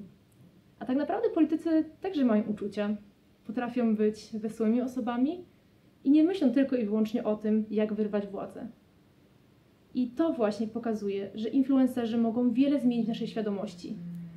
A w polityce, jeśli chcemy, żeby młode pokolenia wchodziły właśnie na tą drogę, musimy zmienić naszą mentalność. Karol Paciorek postanowił pójść jeszcze o krok dalej. Zaprosił do swojego studia e, wszystkich kandydatów na prezydenta. Wszystkich e, tych najbardziej znanych i naj, posiadających największe szanse na wygraną. E, niestety pandemia pokrzyżowała mu plany. W studiu pojawili się tylko i wyłącznie Hołownia i Bosak. Reszta rozmów odbyła się na Skype'ie, reszta poza ostatnim, ale do niego zaraz wrócę. Wszystkie te wywiady były całkowicie czymś innym niż to, co słyszeliśmy w radio. To nie były wywiady, kiedy biły to się na argumenty, kto jest lepszy, kto był gorszy, dlaczego ja jestem ten najlepszy, a nie ten drugi. Te wywiady pokazywały taką ludzką twarz każdego kandydata. Nie były wyreżyserowane, nie było tam cięć, wycinania pytań. A przede wszystkim kandydaci nie znali pytań przed wejściem do studia, co pozwoliło im e, być po prostu naturalnym. Było widać u niektórych zestresowanie, u niektórych e, taką nutę radości z tego, że nie są to kolejne reżyserowane wywiady i pokazało to taką tą właśnie ludzką twarz polityka. A tego nam jest bardzo w tym momencie potrzeba. Ostatni wywiad odbył się z naszym obecnie urzędującym prezydentem Andrzejem Dudą. E, I ten wywiad odbył się na kilka dni przed samą drugą turą wyborów, ponieważ w pierwszej e, prezydent nie zdążył się pojawić. I to był e, ciekawy wywiad. Po pierwsze ciekawy z tego powodu, że raczej Andrzej Duda udzielał wywiadów dosyć mocno reżyserowanych, co było dosyć mocno widać. To był jedyny taki wywiad, w którym prezydent przyszedł i nie znał swoich pytań. Pojawiło się też e, dosyć wiele kontrowersji. Czy to jest fair, że został zaproszony przed drugą turą? Czy nie powinien też się pojawić Trzaskowski po raz drugi? E, jednak Mimo tych kontrowersji wywiad się pojawił z lekkim opóźnieniem, ponieważ kancelaria prezydenta jeszcze go autoryzowała. I pojawiła się wątpliwość, czy ten materiał na pewno wyjdzie, ponieważ jeśli jakiekolwiek pytanie byłoby nie tak i kancelaria powiedziałaby sorry, nie dajemy, to cały materiał by nie poszedł, ponieważ e, Karol zadeklarował, że puści materiał w całości i nie ma wycinania pytań. Moim zdaniem e, to była najważniejsza rozmowa tej kampanii i trochę pomogła Andrzejowi Dudzie. Tego powodu, że młodzi ludzie, którzy wahali się, czy iść na wybory, czy zagłosować na Dudę, czy może na Trzaskowskiego, kiedy zobaczyli tą bardziej ludzką twarz prezydenta Dudy, może zdecydowali się oddać na niego głos. E, Dlatego też e, ten wywiad miał swoje dobre i złe strony. Zdecydowanie szokujący jest zasięg. Dwa dni, milion zasięgu. Tyle osób zobaczyło ten wywiad. W porównaniu z innymi to znacznie wyższa liczba, co pokazuje, że ludzie jednak czekali na tego niewyreżyserowanego prezydenta. I teraz pytanie, czy liczy się cena? No bo jednak jako influencerzy chcemy zarabiać. Ale czy warto? Karol Paciorek nie wziął pieniędzy od żadnego ze sztabów, co było dosyć mocno podkreślane, że nie, za każdy wywiad nie będzie płatności. Jest to fair w stosunku e, i do odbiorców, i do potencjalnych wyborców, ale także fair dla samego siebie. Tym bardziej, że Karol nie poparł bezpośrednio żadnego z kandydatów, z którym się spotkał. Jednak niektórzy biorą pieniądze e, za właśnie wystąpienie e, w spotach czy też jakichś kampaniach. Janusz Rewiński, znacie go pewnie jako siara z Killera, wystąpił w głośnym spocie do urny PiSu przed kampanią do parlamentu. Zagrał tam anioła urny, który pokazywał e, świat po wyborach. E, Nie wiadomo dokładnie, jaka kwota została tam przelana na koncie pana Janusza, e, ale możemy spekulować, że była to kwota dosyć wysoka. Zanim rozpoczniesz współpracę z influencerem, zastanów się, kim jesteś. Bo jeśli nie jesteś zdefiniowany, zdefiniowana, trudno będzie ci rozpocząć jakąś współpracę, która opiera się na poglądach. Musisz wiedzieć, kim jesteś, co reprezentujesz i co chcesz przekazać swoim odbiorcom, zanim rozpoczniesz taką współpracę. Ja nazywam to rachunkiem sumienia. Jeśli znam swoje wartości, swoje poglądy, jest mi łatwiej dopasować się na tej scenie politycznej. E, I taki rachunek sumienia wykonała przede wszystkim e, pani Małgorzata Rozenek przed rozpoczęciem współpracy z Robertem Biedroniem. Pani Małgorzata Rodzenek, jak e, wiadomo, zmaga się z niepłodnością i udało się jej e, posiadać dzieci dzięki metodzie in vitro. I o tej metodzie in vitro dosyć sporo w ostatnim czasie mówiła. Wydała także książkę o tym, że in vitro jest e, dobrą rzeczą dla osób, które dzieci nie mogą mieć, a bardzo chciałyby. Dlatego nikogo nie zdziwiło, że Robert Biedroń poparł jej książkę i zaczął o niej dużo mówić w swoich social mediach. Ponieważ sam ciągle mówi o tym, że in vitro powinno być w Polsce refundowane i powinno być dostępne dla każdej rodziny, która chciałaby posiadać dzieci. I tutaj warto się zatrzymać. Jeśli nosisz futra, nie możesz popierać e, osoby, która mówi, że futra są złe. Jeśli jesteś osobą LGBT, nie możesz popierać kogoś z Konfederacji, bo przecież jest to niezgodne z samym tobą. Nie można popierać kogoś, kto nie odzwierciedla naszych wartości, a wręcz im zaprzecza. Dlatego zanim podejmiemy jakąś współpracę, warto się zastanowić, czy pewne rzeczy nie kolidują nam ze sobą. Też warto wybierać konsekwentnie. E, Mamy przykład pani Agnieszki Holland, która poparła wiele osób w swoim życiu z różnych części e, sceny politycznej, bardziej centrolewicowych, e, jednak w czasie kampanii do Europarlamentu potrafiła poprzeć jednocześnie osoby z koalicji europejskiej, potrafiła poprzeć ludzi z wiosny, co pokazywało, że w sumie nie było do końca wiadomo, kogo ona popiera. E, I tutaj mamy, e, jak widać na slajdach, pani Holland powiedziała, że już nigdy nie poprze Platformy. A wcześniej popierają przez wiele lat. Jest to pewna niekonsekwencja, ponieważ w tych argumentach zabrakło merytoryczności. Dlaczego kiedyś ufała tak bardzo, że teraz nie potrafi już zaufać? Skąd ta nagła zmiana? Plus, czy ta zmiana nie nastąpiła już wtedy, kiedy już jeszcze popierała kandydatów e, tej opcji? Przecież w samym czasie popierała już e, osoby od Roberta Biedronia i wystąpiła nawet na jego live'ie kończącym kampanię do Europarlamentu. Trzeba być także przygotowany na hejt. Z takim hejtem spotkał się na przykład tata w pracy. Wrzucił ładne zdjęcie z Robertem Biedroniem, wykonane podczas Influencer Live Poznań, w Poznaniu. Wrzucił zdjęcie swoich dzieci, swojej żony z Robertem i nagle wylała się fala hejtu. Z jednej strony wiadomo, że jeśli ktoś wcześniej nie angażował się politycznie, może się z tym spotkać. Z drugiej strony niektóre hejty były naprawdę poniżej jakiejkolwiek kultury, co pokazuje też, że jeśli influencerzy nie rozpoczną jakiejś edukacji, nie nauczą kultury swoich odbiorców, to nie będzie mowy o merytorycznej i dobrej dyskusji na tematy polityczne na naszych social mediach. Z politykami spotykamy się w wielu miejscach. Influencerzy, którzy pojawiają się w telewizjach, w radio, bardzo często mijają się z politykami na korytarzach. Takie e, spotkania są dosyć częste. Na przykład więc z ciekawszych spotkań było spotkanie Roberta Biedronia i Sławomira. Obiło się dosyć dużym echem, czy Sławomir popiera Biedronia. Nie trzeba kogoś popierać, żeby zrobić sobie z nim zdjęcie. Ale znów, trzeba pamiętać, że nieść tu pewne konsekwencje. Troszkę szufladkujemy się, kiedy robimy sobie z kimś zdjęcie, dlatego warto napisać o okolicznościach i e, tym, dlaczego zrzuciliśmy to, zdjęcie i zrobiliśmy go, a dlaczego nie z kimś innym. Chciałabym tutaj przywołać właśnie Poznań e, w zeszłym roku, kiedy spotkaliśmy się na Międzynarodowych Targach Poznańskich. E, To zdjęcie Bartka, który stoi za kamerą, którego serdecznie pozdrawiam z tego miejsca. Bartek swojego Instagrama wrzucił zdjęcie Roberta Biedronia, który był na scenie i otwierał zeszłoroczny Influencer Live Poznań. I co ciekawe, nie było to kolejne spotkanie polityczne, było to spotkanie na temat hejtu, na temat tego, z czym i influencerzy i politycy spotykają się na co dzień. Pokazało to odbiorcom, którzy mogli być z różnych scen e, politycznych, z prawej, z lewej, z centra, mogli całkowicie być antypolityczni, że nie tylko influencerzy spotykają się z hejtem, z mową nienawiści, ale u polityków jest to rzecz codzienna. I niestety, e, dopóki znów nie włączymy się w edukację, to po prostu nie przestanie e, trwać. Definiujemy swoje poglądy. I niektórzy mówią, ja nie mam poglądów. To nieprawda. Każdy ma jakieś poglądy na temat ekologii, religii, podatków, 5G, COVID-u, LGBT, szczepień, aborcji, wychowania zwierząt. Każdy z nas, gdy, kiedy zapytamy, czy jesteś za tym, żeby zwierzęta były w cyrku, może powiedzieć tak, nie. To są nasze poglądy. Więc definiowanie ich i wejście trochę w głąb samego siebie jest tutaj najważniejsze, bo o tym często zapominamy.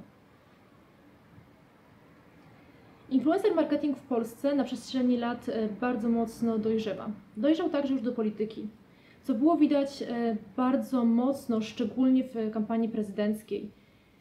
Influencerzy bardzo chętnie włączyli się nie tylko w bezpośrednie popieranie polityków, ale także włączyli się w akcje profrekwencyjne, które też są szalenie ważne.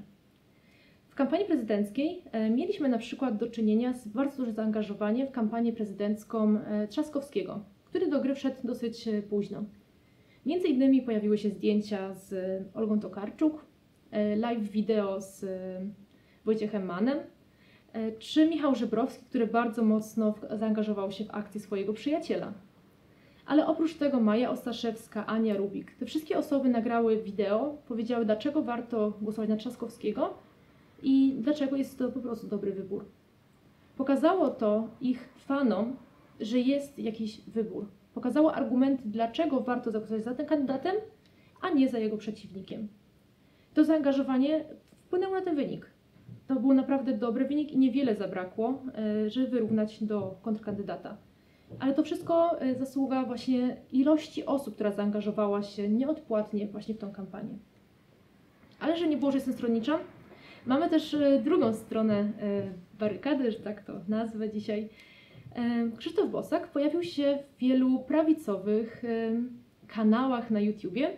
Między innymi mówił o rolnictwie, mówił także na tematy związane z jego światopoglądem, bardzo dużo o ekonomii.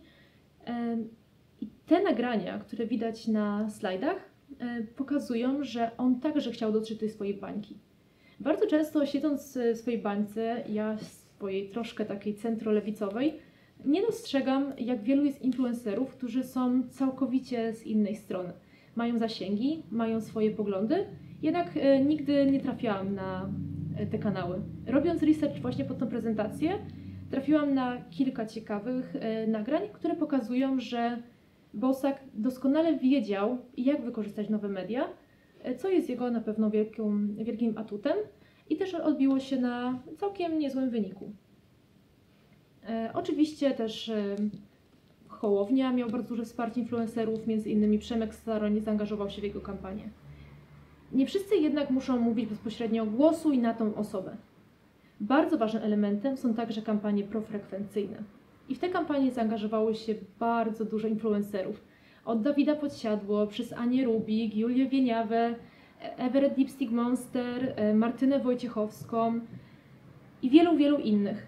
Nagrali swoje filmiki, zaprosili do pobierania zaświadczeń, do głosowania poza miejscem meldowania. Uświadamiali, że jeśli idziemy na wakacje, to nie jest tak, że po prostu nie możemy zagłosować. Wystarczy zabrać z urzędu kartkę i pójść do dowolnego miejsca zagłosować. Dzięki czemu bardzo dużo osób skorzystało właśnie z tych rad i zagłosowało nawet na wakacjach. To bardzo ważne elementy, które budują świadomość, szczególnie u tych młodych wyborców. Bo młodzi wyborcy z jednej strony chcieli być na te wybory, z drugiej strony mają wciąż takie przekonanie, mój jeden głos nic nie zmieni. Jednak jeśli tysiące takich osób, które powiedziały, mój jeden głos nic nie zmieni, pójdzie na wybory, to ten głos zyskuje ogromną siłę. Kolejnym ciekawym case'em z tej kampanii jest Krzysztof Gąciarz, który po skandalicznych słowach prezydenta nagrał do niego apel. I jest to apel na pewno bardzo mocny. Jest to apel, który nie tylko wskazał na problem e, osób LGBT w Polsce, ale także pokazał, że influencer marketing e, może mieć ogromną moc. Wszystkie pieniądze, które Gąciarz zarobił na tym wideo, przekazał na organizację wspierającą osoby LGBT. Pod koniec e, września e, właśnie Krzysztof Gąciarz otrzymał nagrodę jako przyjaciel osób LGBT za to nagranie i za ten mocny apel, który trafił nie tylko do prezydenta, ale także dla wielu osób, które wciąż twierdzą, że osoby LGBT nie są osobami, tylko ideologią. I to jest bardzo ważne, że influencerzy swoimi słowami potrafią mocno zmienić, a także zmusić innych do refleksji, bo to jest w dzisiejszych czasach bardzo ważne. E, Też ciekawą rzeczą, która się wydarzyła, to już wprawdzie po kampanii, e, podczas męskiego grania, e, Dawid Podsiadło wyszedł na scenę i zaapelował do Kingi Dudy. Kingo, taki ładny apel miałaś. Taki ładny. To wszystko e, jest pokłosiem słów Kingi Dudy, która mówiła na wieczorze wyborczym swojego ojca, że każdy ma prawo kochać. Szkoda, że Kinga nie zrobiła nic z tym więcej. Gdzieś tam mało e, liczę, że jednak apel Dawida Podsiadło zostanie z nami na długo, a Kinga jeszcze się na ten temat wypowie. I na koniec e, coś, co wstrząsnęło wszystkich w piątek przed wyborami. Taco Hemingway i jego piosenka Polskie Tango. Piosenka podsumowująca ostatnie lata w polityce. W sumie nie tylko lata. Tak naprawdę od lat 90. ciągle mamy jakiś kocioł. I ten kocioł został podsumowany w bardzo zasadny sposób e, przez ostatni slajd, który widać tutaj. E, ten slajd to ruch ośmiu gwiazd. Nie będę tutaj tłumaczyć, bo chyba nie trzeba. Żyjemy w pewnej bańce, która dosyć dobrze wie, co oznaczają te gwiazdki. E, Jest to też jego manifest. I takie małe pokazanie, na kogo będzie głosował najbliższą niedzielę. Zostając jednak przy taką, drogi rządzie, śpiewaj mi głośniej, bo jeśli nie wy, to zaśpiewa mi bloger. Otóż to, blogerzy bardzo często wskazują na ważne tematy. Blog Ojciec na przykład, e, w czasie kiedy został wybrany nowy Rzecznik Praw Dziecka, zaapelował e, do swojej społeczności, ale także do polityków, żeby jak najszybciej postarać się o zmianę ponowną rzecznika. Dlaczego? Rzecznik przyznał, że bicie dzieci jest ok. Jest to kwestia dyskusyjna oczywiście. Ja sama poparłam tą akcję, ale poparł też ją, poparli ją też politycy. I była to oddolna akcja influencera, który zmusił swoim apelem polityków e, do działania. Petycja miała bardzo wiele podpisów. Niestety rzecznik nadal pozostał na swoim stanowisku i dalej wygłasza pewne kontrowersyjne e, wypowiedzi. Niektórzy influencerzy powoli zaczynają się przeradzać w aktywistów. I takim przykładem jest Ania Rubik. Ania Rubik zajmuje tematy e, związane z kobietami, z aborcją, sprawami osób LGBT, z ekologią, zwierzętami. I tak naprawdę jej Instagram, kiedyś modowy, pełno sesji, stylizacji, dzisiaj jest bardzo Instagramem aktywistki. Zastanawiam się, czy Ania Rubik kiedyś nie trafi do polityki. Osobiście trzymam kciuki, bo byłoby to fajnym przełomem w wychodzeniu młodego pokolenia właśnie w świat polityki. Nikogo też nie dziwi, że Ania Rubik popiera polityków. E, Nikogo nie dziwią te zdjęcia wykonane z Robertem Biedroniem e, podczas różnych wydarzeń. Jest to przyjaźń, ale jest to też walka o wspólne wartości. My mówimy jednym głosem. Nie musimy nikogo popierać, żeby wyrażać swoje rozżalenie pewnymi sytuacjami, żeby pokazać, że chcemy w słusznej sprawie zająć swoje stanowisko, by nasi odbiorcy zareagowali. Szczególnie w ostatnim czasie, kiedy do Sejmu wrócił e, projekt aborcji, zakazu całkowitej aborcji w Polsce, e, pojawiło się dużo głosów e, polskich influencerek, ale także influencerów na temat tego, że powinno być to wyborem kobiety. Że zabranianie nie jest całkowicie dobre i nie jest zdrowe dla społeczeństwa. Jak widać, wiele osób zaangażowało się w tę akcję. Do tego stopnia, że wywołało to u ludzi, którzy myślą często inaczej niż my, e, taki moment refleksji. Żeby jednak zastanowić się, e, czy jest tylko i wyłącznie jedna słuszna prawda, czy nie ma innej alternatywy myśleniowej. Czy znane nazwiska influencerów mogą przejść do polityki? Kojarzycie tą panią? Klaudia Jachira. Przez wiele lat nagrywała wideo z małą postacią Jarosława Kaczyńskiego. Jahira podczas wyborów do Europarlamentu bardzo mocno skrytykowała koalicję europejską za ich kampanię, za ich działania. Kilka miesięcy później ogłosiła, że startuje do Sejmu. Jak ta przygoda się zakończyła, chyba wszyscy wiemy. Dzisiaj Jahira jest w Sejmie i robi to samo, co robiła na YouTubie, na sali sejmowej. Mocno i dosadnie mówi o problemach, zgłasza interpelacje i działa. To pokazuje szansę dla młodego pokolenia, by wejść w politykę że tylko wspólnie można coś zmienić. W ostatnim czasie także mieliśmy pewnych twórców, którzy chcieli wejść do Sejmu. E, kilku blogerów postanowiło założyć partię. Wywołało to dosyć e, sporo kontrowersji, a jednocześnie szumu na temat tego, że rzeczywiście ta partia może mieć powodzenie. Nie minęło kilka dni, okazało się, że to był niestety prank. Z drugiej strony, e, ja osobiście uważam, że wielu influencerów mogłoby się znaleźć w Sejmie, i robić świetne rzeczy dla społeczeństwa. Dlatego liczę, że za kilka lat e, będziemy mieli troszkę więcej influencerów w Sejmie i że to oni będą wyznaczali pewne nowe drogi i odświeżą e, ten stary skład. Inni mówią, że nie ma na to szans. Ja mówię, że są i bardzo gorąco w to wierzę. Mieliśmy takie postacie jak Michał Fabisiak, czyli dzielny tata. Dzielnego tatę można znać z tego, że walczył o prawa do swoich dzieci i że nie tylko kobieta po rozwodzie może dostać e, dzieci pod opiekę. Pan Michał wystartował z Konfederacji na posła. Jego kampania była totalną porażką, jak widać po jego plakatach. Jednak pokazało to, że można iść ze śmiechem, można traktować to na pół poważnie, ale jednak e, społeczeństwo egzekwuje, czy takie osoby się dostają, czy jednak nie. I czy jest szansa na influencerów? Myślę, że tak. Spójrzmy na Hołownię. Bardzo dobry wynik w kampanii prezydenckiej. Pierwsze kroki do stworzenia własnego ruchu. Spójrzmy na Roberta Biedronia. Także jest influencerem. Także przywodzi yy, ruchowi politycznemu. Spójrzmy na Pawła Kukiza. Z gwiazdora w polityka. Jest już drugą kadencję w Sejmie i dalej realizuje swoje plany, mimo że już teraz nie jako sam Kukiz 15, tylko w koalicji z PSL-em. Ale mieliśmy też na przykład e, Leroya, który także do Sejmu się dostał i także walczył o swoje postulaty, innymi o legalizację marihuany. Ale to nie wszystko. To nie jest tak, że teraz w ostatnich latach pojawili się influencerzy. Krzysztof Ibisz przecież był posłem na Sejm. Tak. Może się wydawać to dziwne, a jednak e, Krzysztof Ibisz tak właśnie rozpoczynał swoją wielką karierę. I jak widać na zdjęciu, wtedy był e, trochę starszy niż jest teraz. A ja dziękuję za to, że byliście, że wysłuchaliście mojego wykładu. Mam nadzieję, że otworzycie się na politykę, a jeśli nie na samych polityków, to na działanie w, dla społeczeństwa. Wspólnie możemy naprawdę wiele zmienić i wspólnie możemy sprawić, że ten świat będzie troszkę lepszy. Nasze zaangażowanie jest bardzo ważne. To my, influencerzy, pokazujemy społeczeństwu dobre nawyki. To my chcemy ich edukować. Więc zróbmy to wspólnie. Dzięki.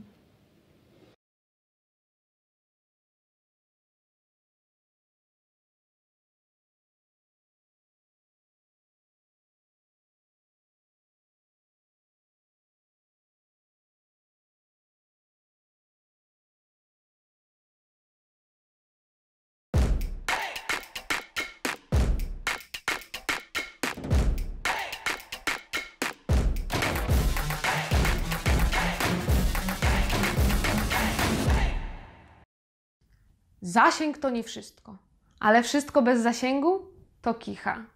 Co liczy się przy wyborze influencera do kampanii? Na jakie statystyki marki zwracają uwagę? Czy lepiej inwestować w swój wizerunek, czy w zasięg?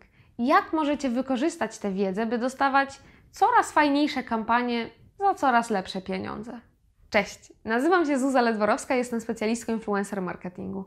Pracuję zarówno po stronie influencerów, pomagając im budować zaangażowane społeczności, wiarygodne profile, szczególnie na Instagramie.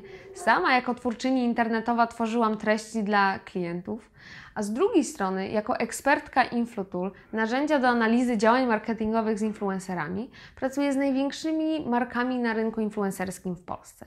I w trakcie tej prelekcji podzielę się swoim doświadczeniem i tym, w którym kierunku możecie iść, żeby dostawać coraz fajniejsze współprace i zarabiać na tym coraz większe pieniądze. Współprace to wymiany. Wy jako influencerzy najczęściej od marek dostajecie po prostu pieniądze. Czasami ogrzewacie się w blasku fajnej marki, jeżeli do kampanii zaprasza Was taka Coca-Cola, która słynie z tego, że robi fajne kampanie z influencerami, no to podnosi to Waszą wartość na rynku. Z drugiej strony, marki od Was też chcą kupić pewną cechę wizerunku, żeby on spłynął na nią, e, lub po prostu zasięg. Każda marka ma swój wizerunek. I nie ma, czy on jest fajniejszy, czy jest, czy jest mniej fajny. To jest po prostu zestaw cech, które buduje się w świadomości potencjalnych klientów. Nie ma gorszych, lepszych, są po prostu inne. I dobra marka ma unikatowy wizerunek, który ewoluuje. Taki Mercedes. Kojarzony jest raczej z autem dla starszych panów z hajsem, którzy sobie tymi furkami jeżdżą. Natomiast po, po pewnym czasie Mercedes zorientował się, że ci panowie kiedyś umrą, e, a tymi autami będą jeździć ich synowie. Natomiast synowie nie chcą jeździć e, furami swoich ojców, chcą jeździć BMW e, i Audi. I dlatego Mercedes zaczął pracować z influencerami, e, został sponsorem eventu gamingowego, żeby sobie ten wizerunek trochę odmłodzić. I dlatego marki potrzebują influencerów, żeby czasami pożyczyć sobie od nich pewną cechę wizerunku. Czasami marka chce kupić wyłącznie zasięg. Taki Red Bull. Marka sama w sobie robi świetne kampanie wizerunkowe. Na slajdzie widzicie screen z akcji, gdy wywieźli ziomka na granicę kosmosu i naszej atmosfery, po czym on skoczył ze spadochronem na Ziemię. Czyli dosłownie marka Red Bull dodała mu skrzydeł. I teraz jeżeli taka marka e, robi kampanię sprzedażową, to tak naprawdę nie do końca ma znaczenie, gdzie i u kogo się pojawi, bo ludzie znają tą markę, ona się broni. Więc jeżeli mają opcję kupić jej produkty, to i tak to zrobią, bo po prostu je lubią. Marki mało płacą za zasięg, bo zasięg mogą sobie kupić gdzie tylko chcą i jak tylko chcą. Natomiast wizerunek, pewnych cech wizerunku nie da się kupić od tak w internecie, więc wizerunek jest o wiele droższy. I teraz nic dziwnego, że niektórzy influencerzy dostają 200 zł za kampanię, a niektórzy inkasują 30 tysięcy, bo to pewnie oznacza, że marka chciała podbić sobie jakąś cechę, e, używając wizerunku tego influencera. I teraz, jeżeli jesteście początkujący, no to nikt nie zaoferuje Wam kampanii wizerunkowej. Będziecie na początku robić kampanie zasięgowe za 200 zł. I to od Was zależy, jaki sobie wizerunek zbudujecie, z jakimi wartościami będziecie się kojarzyć, tak, żeby marki chciały za to zapłacić o wiele więcej. Bo jeżeli nie, to będziecie rośli liczbowo wyłącznie zasięgowo i będziecie mieli 100 tysięcy followersów na Instagramie, natomiast nadal będziecie dostawali wyłącznie kampanie za 200 zł albo barterowe.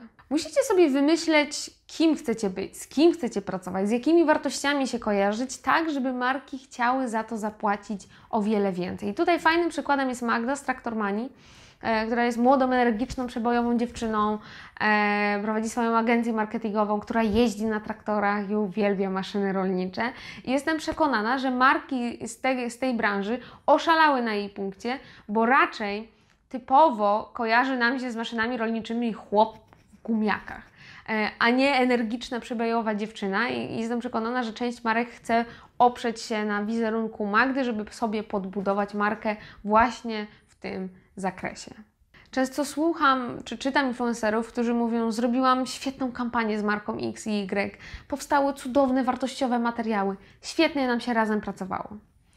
I okej, okay, ja to kumam. Natomiast jako marketer od razu chciałabym zadać pytanie: ale czy ta kampania zrealizowała cel?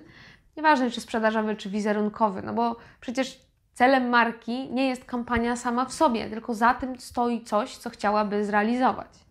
Marki, jeżeli działają długofalowo i chcą sprzedawać swoje produkty drożej, no to opierają się na kampaniach wizerunkowych, bo to pozwala im później sprzedać produkty drożej, no ale proces sprzedaży trwa e, też o wiele dłużej. Natomiast jeżeli marka chce na chwilą obecną, tu i teraz, na szybko podbić sprzedaż, no to zorganizuje kampanię sprzedażową zasięgową, e, gdzie po prostu racjonalnym argumentem dla klienta będzie to, że tylko tu i teraz cena jest niższa, kup. Musimy pamiętać, że rynek influencerów w Polsce jest całkiem wysycony. Mamy ponad 40 tysięcy profesjonalnych influencerów, więc po prostu już nie ma miejsca w tłoku.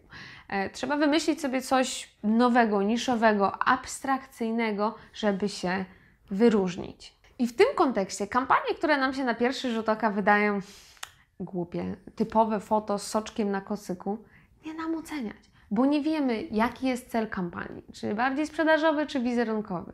Nie wiemy, do kogo ma trafić ta, ta kampania e, i tak naprawdę, czy celem była może na przykład tylko dystrybucja informacji o jakiejś super promocji, e, czy może marka właśnie chce się skojarzyć z jakimiś konkretnymi cechami, które ma ten influencer i robi to w taki sposób. Przy kampaniach wizerunkowych o wiele bardziej liczą się platformy nieefemeryczne, czyli takie, które zostaną w internecie, nie wiem, blogi, posty na Instagramie. E, liczy się też wizerunek influencera, to z czym się kojarzy i tak naprawdę do czego aspiruje jego społeczność. Przy kampaniach sprzedażowych działa to zupełnie inaczej. Jest to szybka akcja, info o promocji, najlepiej ograniczone czasowo, e, czyli tutaj sprawdza się świetnie format Insta Stories.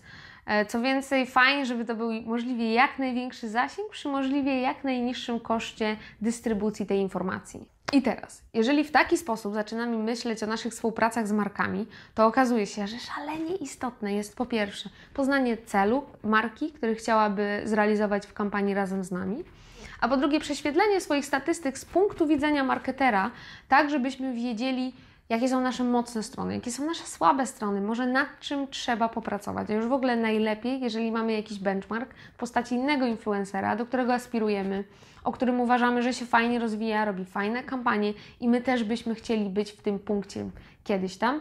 No bo wtedy wiemy, do, do czego, do jakich statystyk się odnosimy e, i nad czym pracować, żeby kiedyś tam być. Tak samo po kampanii. Pracując w agencji kreatywnej byłam zaskoczona, jak niewielu influencerów pyta mnie o wynik kampanii po niej, e, o ich wynik sprzedażowy. E, a to przecież mega ważna informacja dla nas. I ja wiem, że my czasami boimy się z tym zmierzyć, e, z tym, że my coś zarekomendujemy, a nasza społeczność tego nie kupi i wyjdzie na to, że trochę słabi z nas influencerzy, ale lepiej to wiedzieć, bo za tym może stać przecież kilka powodów.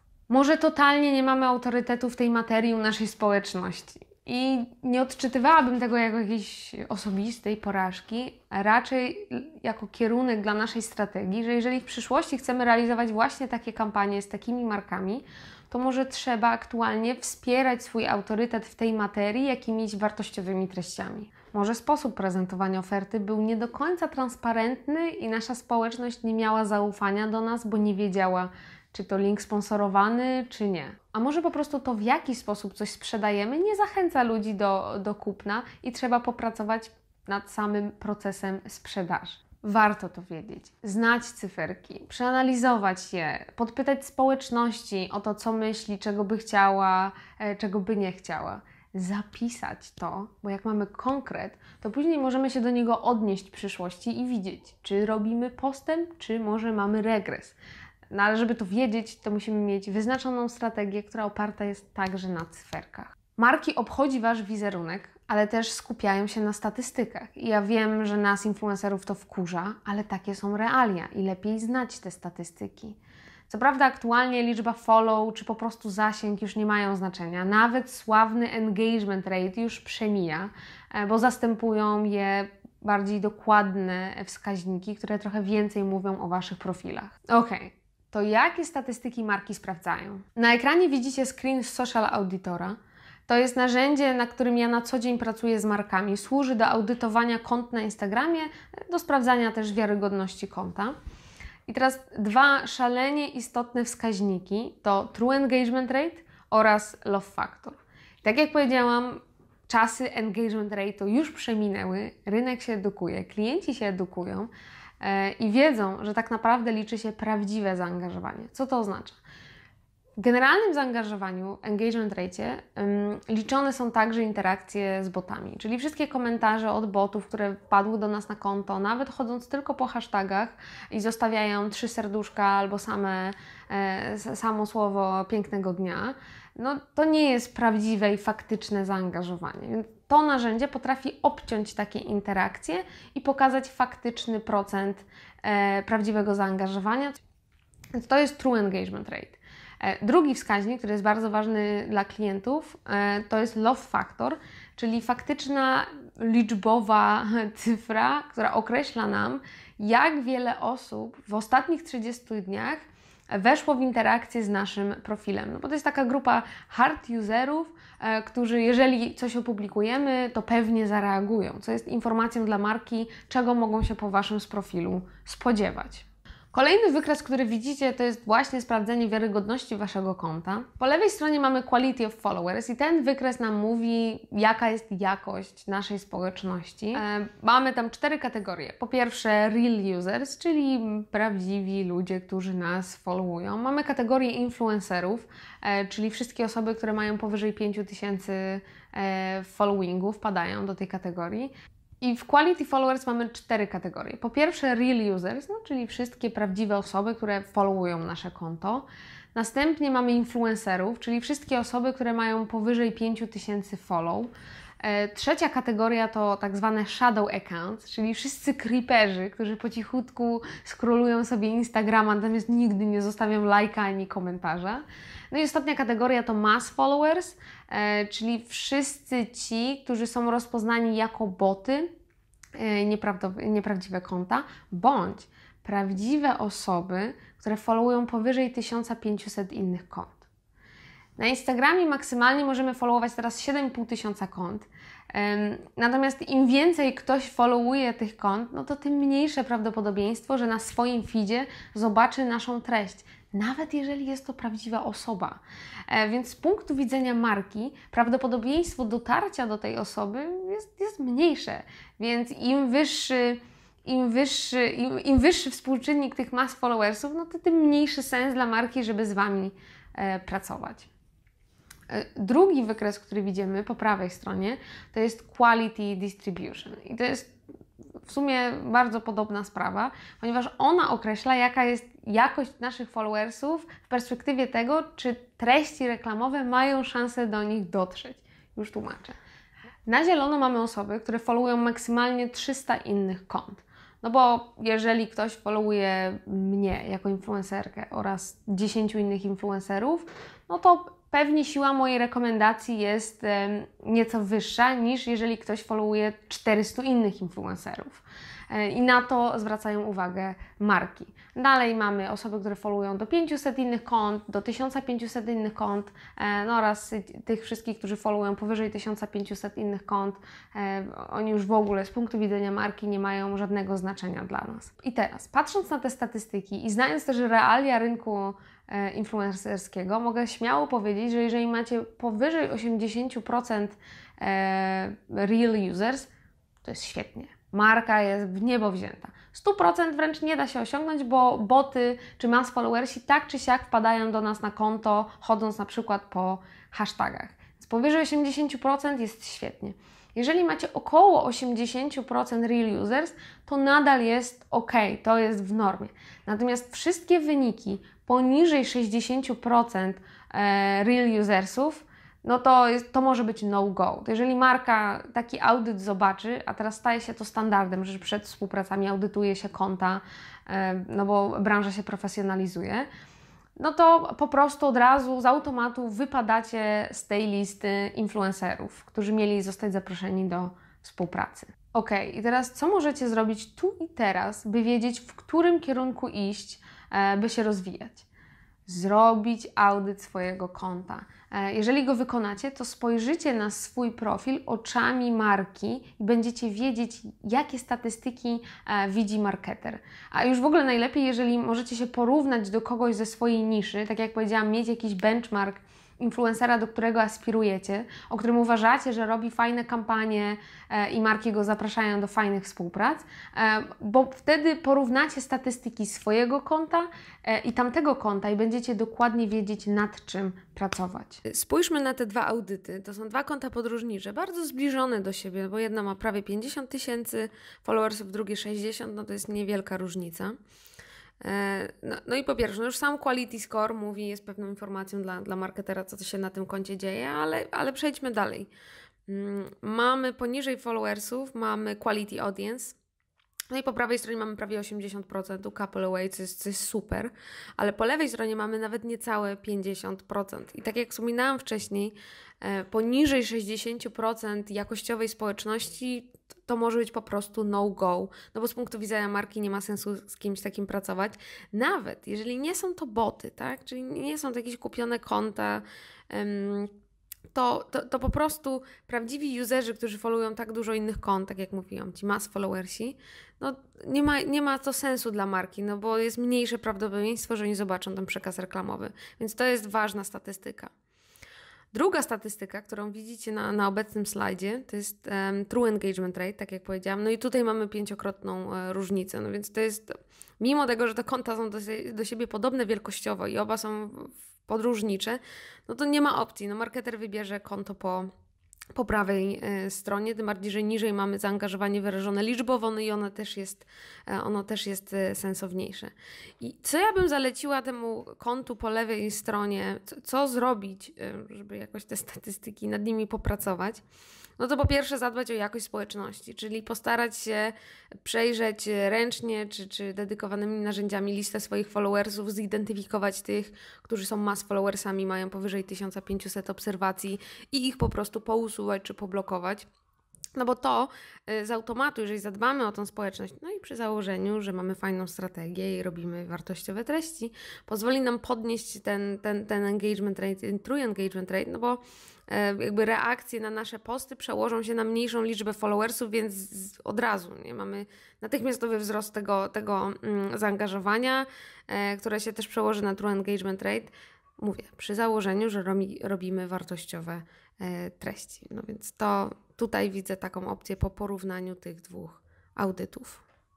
I najważniejsza rzecz, którą możecie dla siebie zrobić, to spojrzeć na swój profil trochę z boku odłożyć to, jak bardzo jesteście zaangażowani w tworzenie swoich treści, odłożyć to, ile serca wkładacie w budowanie relacji ze swoją społecznością, tylko wejść w buty marketera i bez emocji ocenić swój profil. Oprócz tych statystyk, to też to, jaki wizerunek się tam kreuje, z jakimi wartościami się e, się kojarzycie, czy faktycznie serio jesteście tacy wyjątkowi, czy odróżniacie się od innych. A jeżeli nie, to co możecie zrobić, żeby się odróżnić, wyróżnić i żeby marki chciały z Wami współpracować. Ja trzymam za Was kciuki. Jeżeli macie do mnie pytania, to wpadajcie na mój Instagram zuzaledwo, e, czy piszcie do mnie maile zuzamałpainflutool.com, a ja życzę Wam powodzenia.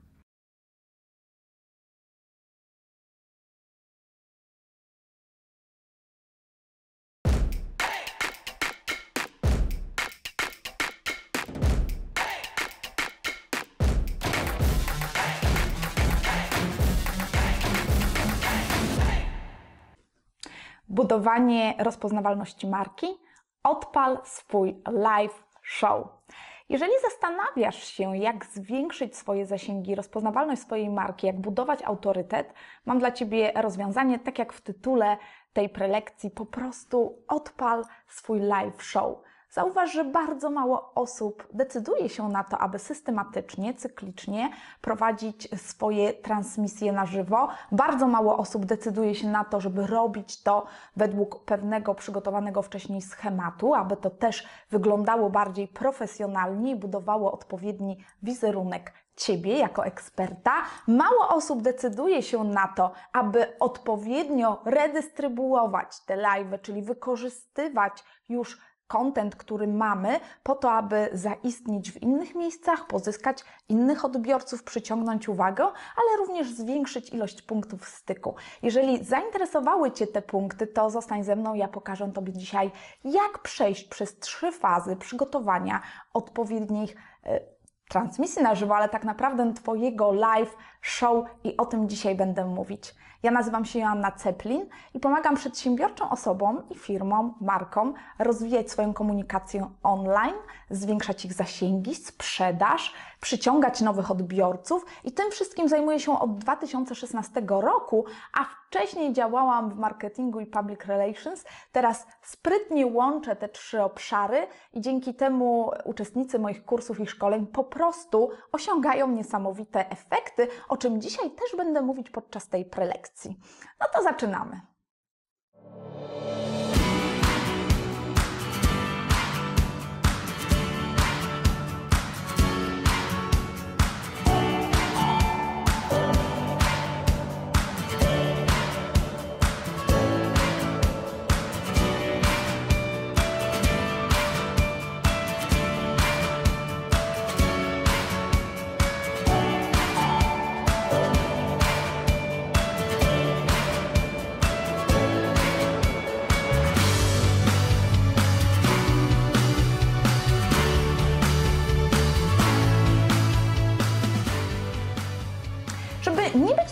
Gołosłowną, to zacznę po prostu od mojej historii. Ja swoje pierwsze live zaczęłam robić w 2016 roku, ale wtedy jeszcze robiłam je na platformie Periscope, bardziej dla treningu, bo jakoś tak podświadomie czułam, że live'y to coś, co zmieni nasz świat.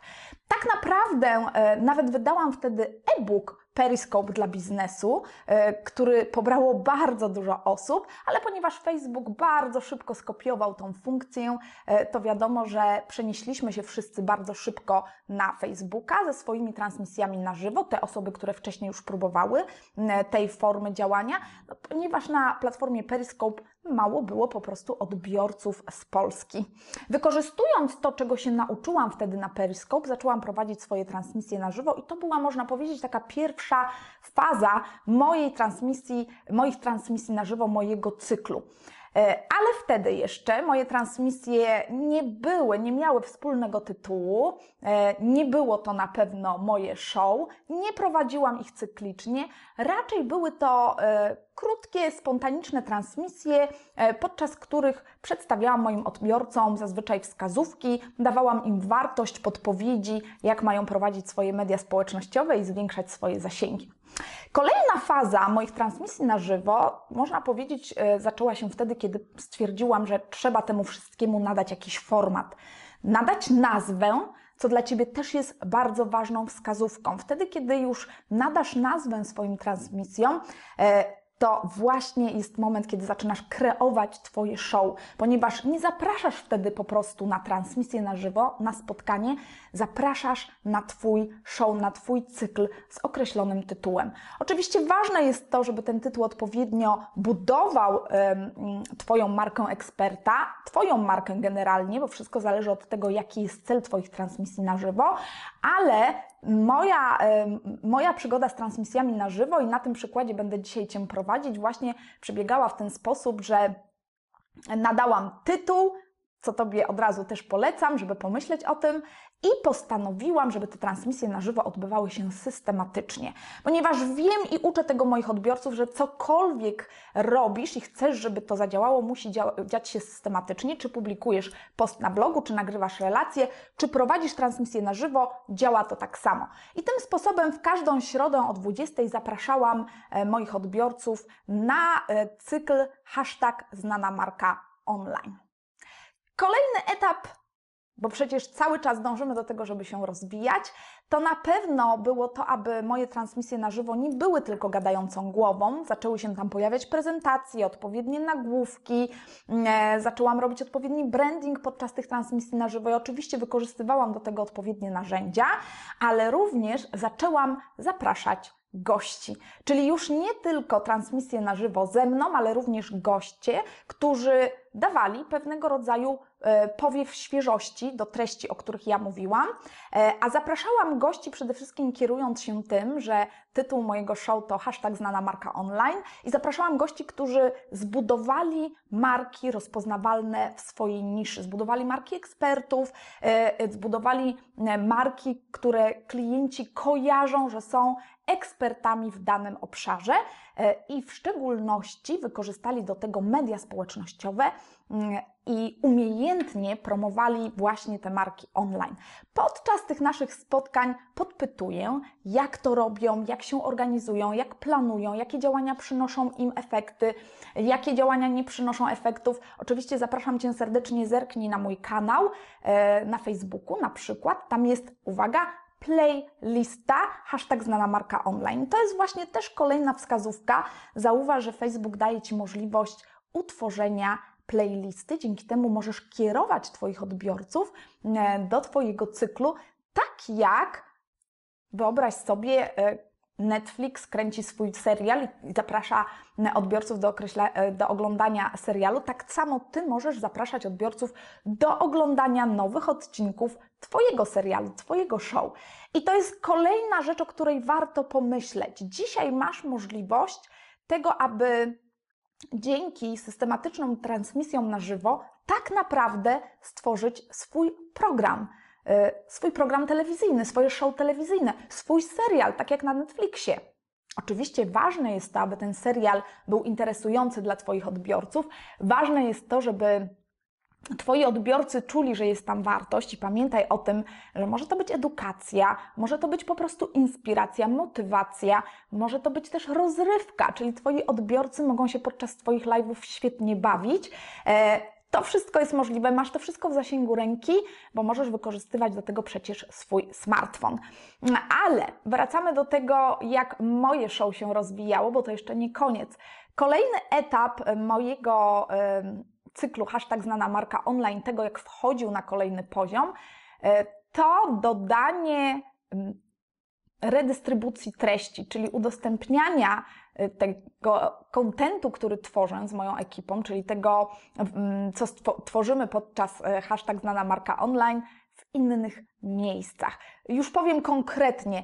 Chodzi o to, żeby live, który jest opublikowany na Facebooku, jest dodany do konkretnej playlisty zaistniał gdzieś dalej. I na początku ta nasza redystrybucja polegała na tym, że osadzaliśmy te live'y w naszych postach blogowych. Natomiast e, kolejnym etapem był podcast, e, i tu już zaczęło e, dziać się dużo więcej. To już jest bardziej skomplikowany etap, ponieważ dodanie podcastu wymagało tego, aby mm, te nasze procedury działań, które do tej pory mieliśmy bardzo fajnie ułożone, a pamiętaj o tym, że jest duża różnica pomiędzy tym, jak robisz e, sam lub sama live i występujesz i przygotowujesz się sama. Potem dochodzą kolejne kroki, gdy decydujesz się zapraszać gości. Musisz wcześniej ustalić datę, zaprosić odpowiednie osoby w odpowiedniej e, kolejności, ustawić sobie kalendarz, wysłać do nich maile, e, wysłać wszelkiego rodzaju zgody. No tutaj robi się dużo takich elementów, które trzeba zorganizować przed samym live'em, również takie wprowadzenie techniczne, jak to się będzie odbywało, czego gość się ma spodziewać, na co ma się przygotować. I teraz wyobraź sobie, że dochodzi kolejna rzecz, czyli podcast. No tutaj już zaczyna być gorąco. Do naszej procedury doszło nagle kilkadziesiąt nowych punktów. E, doszły też nowe obowiązki dla osób z mojej ekipy albo dla osób, które podnajmowaliśmy do konkretnych działań. Ale dlaczego teraz opowiadam Tobie tą ścieżkę? Żeby pokazać, że live to nie tylko niesamowity kop dla Twoich zasięgów, bo dzięki live'om możesz angażować społeczność. Dzięki live'om Twoja społeczność poznaje Ciebie, pokazujesz swoją autentyczność, pokazujesz kim jesteś. Do tego wszystkiego możesz e, odpowiednio się pozycjonować, zapraszając odpowiednich gości. Do tego wszystkiego możesz redystrybuować te treści. Więc zgodzisz się ze mną, zgodzisz się ze mną, że jest to na pewno niesamowity kop dla Twoich zasięgów dla, i dla Twojej marki, dla Twojego wizerunku. Ja zapraszam Ciebie teraz na trzy fazy, które warto przeanalizować. Jeżeli już prowadzisz takie transmisje na żywo, to może jakieś punkty dodasz do swoich procedur przygotowawczych, a jeżeli nie zdecydowałeś się, nie zdecydowałaś się jeszcze nigdy wcześniej, żeby systematycznie zacząć prowadzić te live i systematycznie rozwijać ich po prostu całe zaplecza, aby wychodziły one bardziej profesjonalnie i zdobywały coraz większe uznanie wśród Twojej społeczności, to mam nadzieję, że Cię inspiruje, żeby właśnie coś takiego powstało na Twoim kanale. Decydując się na systematyczne prowadzenie Twojego show, najważniejszy jest plan i rozpisanie stałych punktów, rozpisanie takiej checklisty, która pomoże początkowym etapie Tobie zorganizować cały proces, a potem, kiedy będą pomagać Tobie kolejne osoby, być może z Twojej ekipy albo osoby, które, z którymi będziesz współpracować, im ułatwi to cały proces oraz usprawni Waszą komunikację. Cały proces składa się z trzech faz. Pierwsza faza to przygotowania do live'u, czyli to wszystko, co dzieje się przed wystartowaniem transmisji na żywo. Druga faza to wtedy, kiedy Twój live już na żywo się toczy. Trzecia faza to to, co dzieje się po live'ie. I teraz e, przedstawię Tobie takie kluczowe punkty, o których warto pamiętać w trakcie tych trzech faz i które mogą znaleźć się właśnie na Twojej checkliście.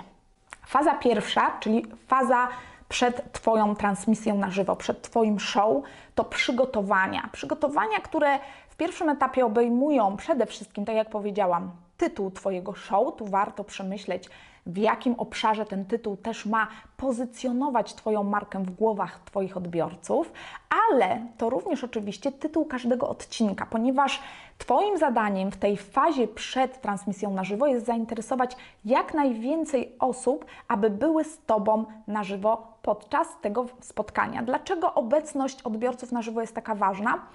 Ponieważ jeżeli chcesz wykorzystać live jako motor dla Twoich zasięgów, dla docierania do nowych osób, niezwykle istotne jest to, aby na każdym Twoim live gromadzić coraz większą liczbę odbiorców. Wtedy jesteś mm, w stanie wykreować z nimi dyskusję, stworzyć atmosferę e, do rozmowy, ale również atmosferę do tego, aby zachęcić ich do udostępniania Twojej transmisji dalej. E, oczywiście na tym etapie pierwszym zastanawiasz się, jaki temat będzie interesujący dla Twojej grupy odbiorców, przygotowujesz tytuł, przygotowujesz oczywiście datę i rozpisujesz sobie cykliczność tych Twoich live'ów i informujesz o tym Twoich odbiorców oraz rozpowszechniasz tą informację. Jeżeli za, e, zapraszasz gościa, zdecydujesz się na zaproszenie gościa, oczywiście prosisz też gościa o to, aby on informował swoich odbiorców. Mam nadzieję, że już rozumiesz, że to, yy, że Twój gość będzie zapraszał swoich odbiorców, też zwiększy liczbę osób podczas Waszej transmisji na żywo, a przynajmniej jest taka szansa, że więcej osób przyjdzie. Fajnie jest nagrać krótką zapowiedź, fajnie jest poruszyć, dlaczego warto być e, podczas tej, e, tego spotkania na żywo, dlaczego warto to show oglądać i tutaj można zastanowić się, co dla Twoich odbiorców e, będzie ciekawe, co będzie dla nich istotne, co jest dla nich taką wartością, aby zapamiętali, że w danym dniu o danej godzinie powinni pojawić się na Twoim live. Oczywiście są jeszcze inne możliwości przyciągania uwagi odbiorców, odpowiednie e, zaplanowanie e, tego w kalendarzu, stworzenie wydarzenia, zbieranie zapisów na listę mailingową, aby im przypomnieć o tym, że live odbywa się w danym terminie, o danej godzinie. Zaplanowanie komunikacji w mediach społecznościowych, posty, stories, odliczanie w stories, to wszystko może spowodować, że Twoi odbiorcy w większej ilości miejsc zetkną się z tą informacją, przez co zapamiętają albo skorzystają właśnie z tych opcji e, przypomnień, które im zaoferujesz. Pewnie zastanawiasz się teraz, no dobrze, ale o czym ja mam na tych e, live'ach mówić, tak? Jeżeli znasz swoją grupę odbiorców, to myślę, że nie będzie to dla Ciebie problemem, aby wyłuskać pytania, które często zadają, aby wyłuskać to, co ich interesuje, aby przejrzeć, które tematy poruszone w Twoich postach, w Twoich stories, być może w Twoich artykułach na blogu były dla nich ciekawe. Twój live może dokładnie dotyczyć tych tematów. Ty jesteś ekspertem w tej branży, ty możesz zastosować pewnego rodzaju e, wskazówki, które im możesz przekazać, ubrać to w, odpowiedni, w odpowiednie tytuły, ramy, tak aby oni stwierdzili, że faktycznie jest to wartościowe spotkanie i warto przyjść. W tej fazie przed transmisją na żywo, przed Twoim show, ważne jest też, aby skorzystać z zaplanowania transmisji na żywo.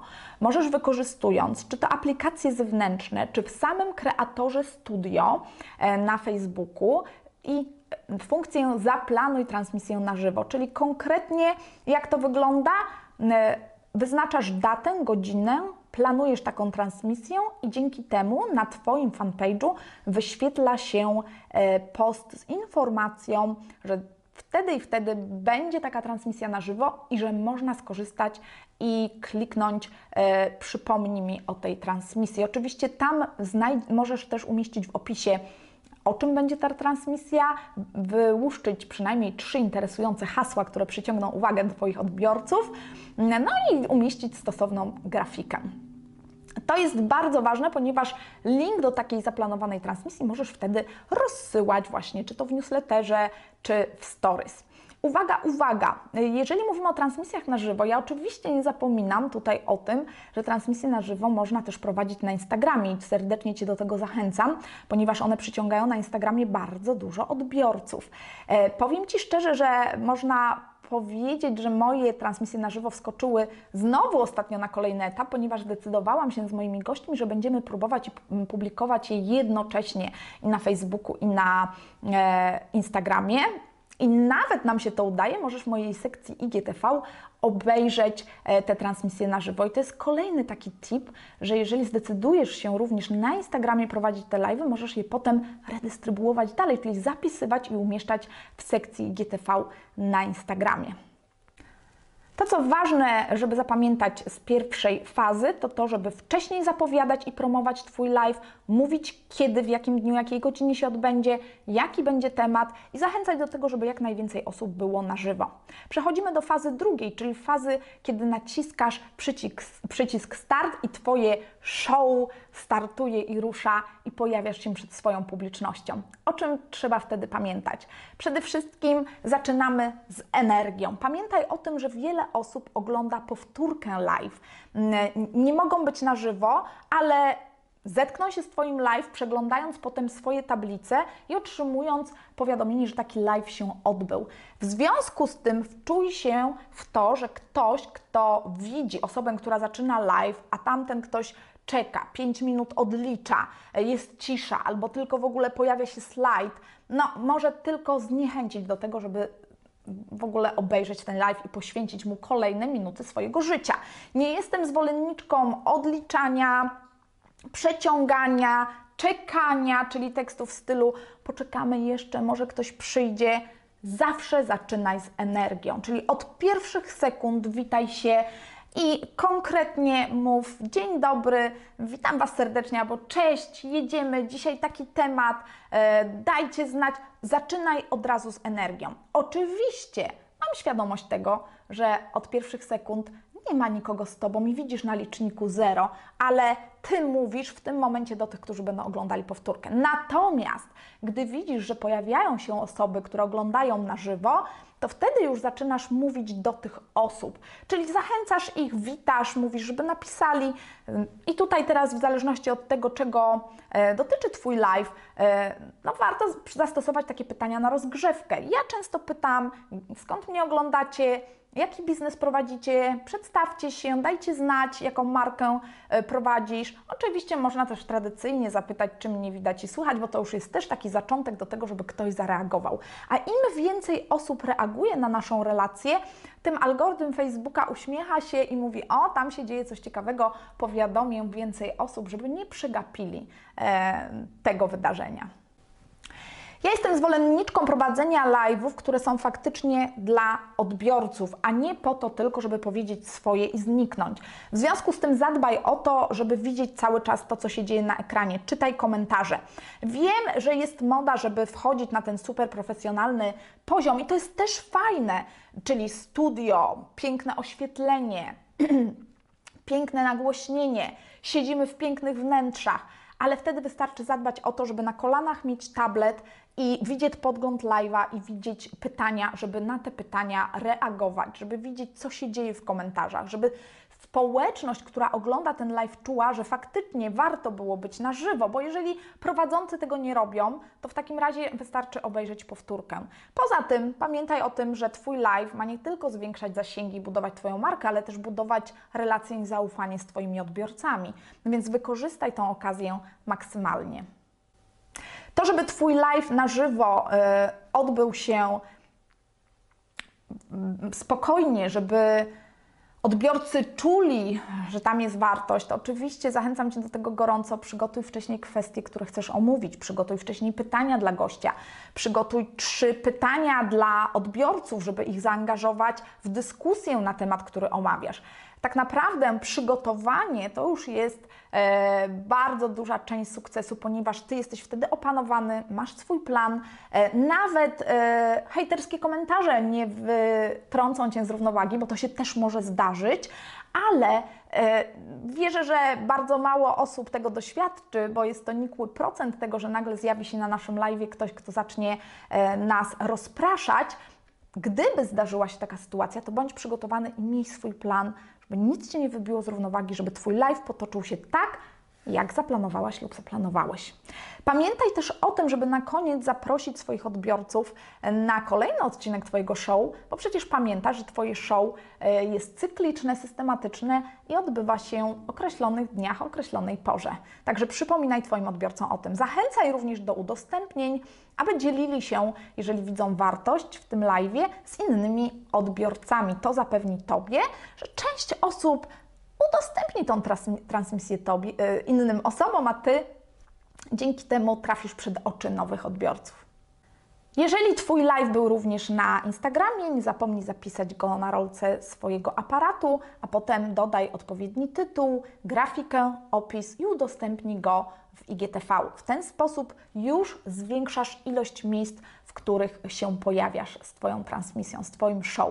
Przechodzimy teraz do fazy trzeciej. Tak naprawdę faza trzecia jest równie ważna, chociaż wiele osób zamyka komputer, wyłącza smartfona i mówi zrobione. Uf, wiem, że to nas kusi, napięcie opada, ale tak naprawdę wtedy trzeba wykonać jeszcze kilka bardzo ważnych kroków. Przede wszystkim warto wyedytować post z live'em, ponieważ gdy publikowałeś zapowiedź postu, gdy planowałeś tą transmisję, zapraszałeś, podawałeś datę.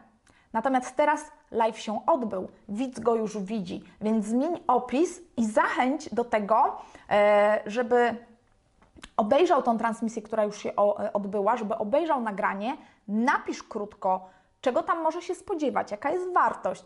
Można nawet wypisać w której minucie, o czym mówisz, żeby osoby mogły zobaczyć, że faktycznie warto obejrzeć, warto poczekać, bo te kwestie akurat e, je interesują. Także edycja posta przede wszystkim. Kolejna rzecz, możemy zastanowić się, czy ten post nie rozpromować do swoich odbiorców, żeby jak najwięcej osób, e, tych, które już Ciebie obserwują, zobaczyły ten live, lub do nowych odbiorców. I w tym przypadku oczywiście możesz wspomóc się reklamami. Ja szkolę z tego, jak cały, y, ułożyć cały taki cykl promowania postów po to, aby trafić do nowych odbiorców, zainteresować ich, w ogóle, żeby dowiedzieli się, że jest taki live, taki, takie cykliczne wydarzenie.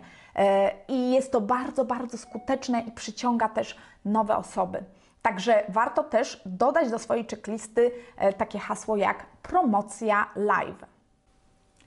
Edytując jeszcze post, e, nie zapomnijcie mm, dobrze dodać tytuł, możemy dodać odpowiednie tagi, pooznaczać odpowiednie osoby, dodać linki czy przekierowania, bo być może wspominaliście o czymś podczas live'u i chcecie teraz dodać tam wszystkie linki, żeby osoby, które oglądają, miały wszystko w treści posta zawarte. Oczywiście tutaj osobom, które publikują na Instagramie, przypominam, że w IGTV w opisie możecie też umieścić linki. I uwaga, uwaga, one są tam klikalne. Nie to co w postach na Instagramie, na IGTV możecie wkleić klikalne linki. To jest ogromny plus tego e, narzędzia. Oprócz płatnej promocji Twojego live, która ma duże plusy, ponieważ trafiasz do konkretnej grupy odbiorców, pamiętaj, że reklamy możesz dobrze stargetować i trafić przed oczy konkretnej grupy odbiorców, która jest na Twoim celowniku, możemy tak to powiedzieć. Pamiętaj, że Twój live możesz też udostępnić w grupach, jeżeli prowadzisz swoje grupy. Możesz tam go udostępnić, opublikować. Aha, jeszcze kolejny etap, ten, który mówiłam, że był u mnie jako przedostatni, to redystrybucja treści, czyli e, to, aby zamienić swój live, czy to na tekst posta na blogu, czy osadzić w ogóle na Twojej stronie, czy umieścić na YouTubie to nagranie, czy dodatkowo zrobić z tego podcast, czy może wyciąć niektóre fragmenty, zrobić z tego filmiki, krótkie stories. Zobacz, jak masz wiele, wiele możliwości. Ja o tych wszystkich możliwościach uczę, opowiadam te wszystkie procedury, tłumaczę w mojej Akademii Smart Brand i mówiłam, że będę się chwalić, ale słuchaj, e, tak naprawdę od 2017 roku e, zachęcam do tego, aby budować swoją markę, swoją rozpoznawalność i swój biznes poprzez transmisję na żywo i poprzez swoje live show. I mam na swoim koncie już sporo sukcesów moich e, kursantów, moich absolwentów. E, niesamowita radość, kiedy piszą do mnie, że na ich live'ach jest ponad tysiąc osób na żywo.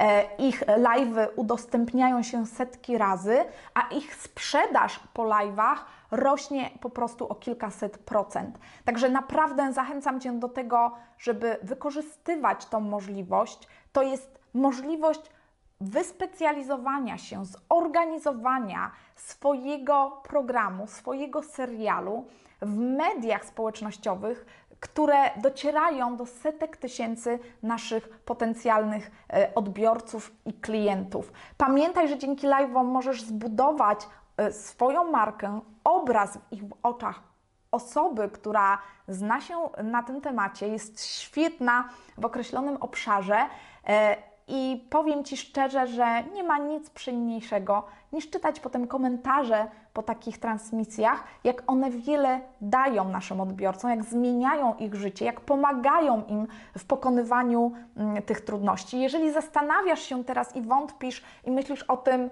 ja kim jestem, żeby publikować live, kim jestem, żeby prowadzić takie transmisje na żywo, kim jestem, żeby mieć swój program albo swój serial, tak jak mówisz, Joanna, to uwierz mi, że każdy z nas codziennie robi setki rzeczy, które mogą zainspirować innych, pomóc im. My zbieramy doświadczenie w naszych obszarach, w których się specjalizujemy i możesz tym się dzielić e, z innymi właśnie podczas Twoich transmisji na żywo.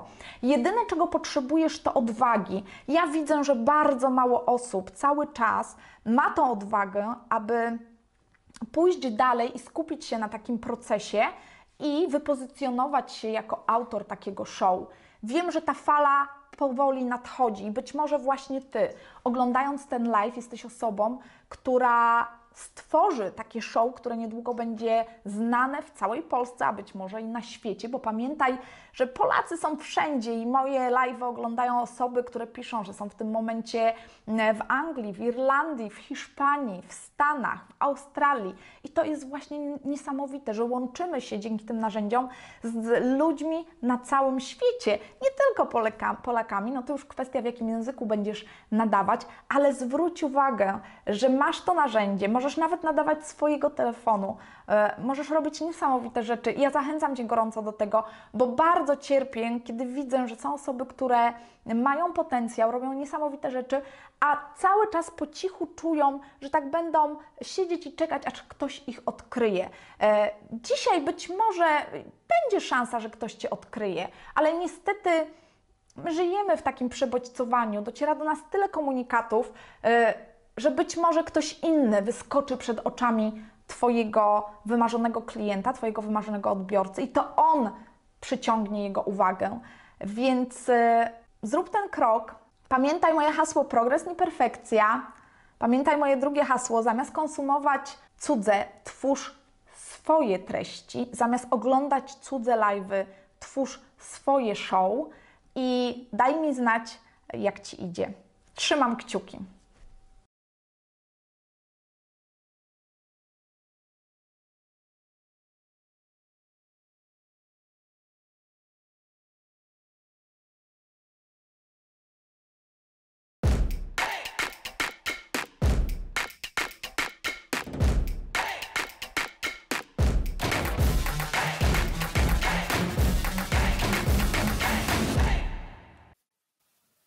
Cześć, nazywam się Monika Czaplicka i jestem szefową agencji social media Łobuz. Ale poza tym mam też swojego bloga Czaplicka.eu, którego prowadzę o tematyce social mediowej.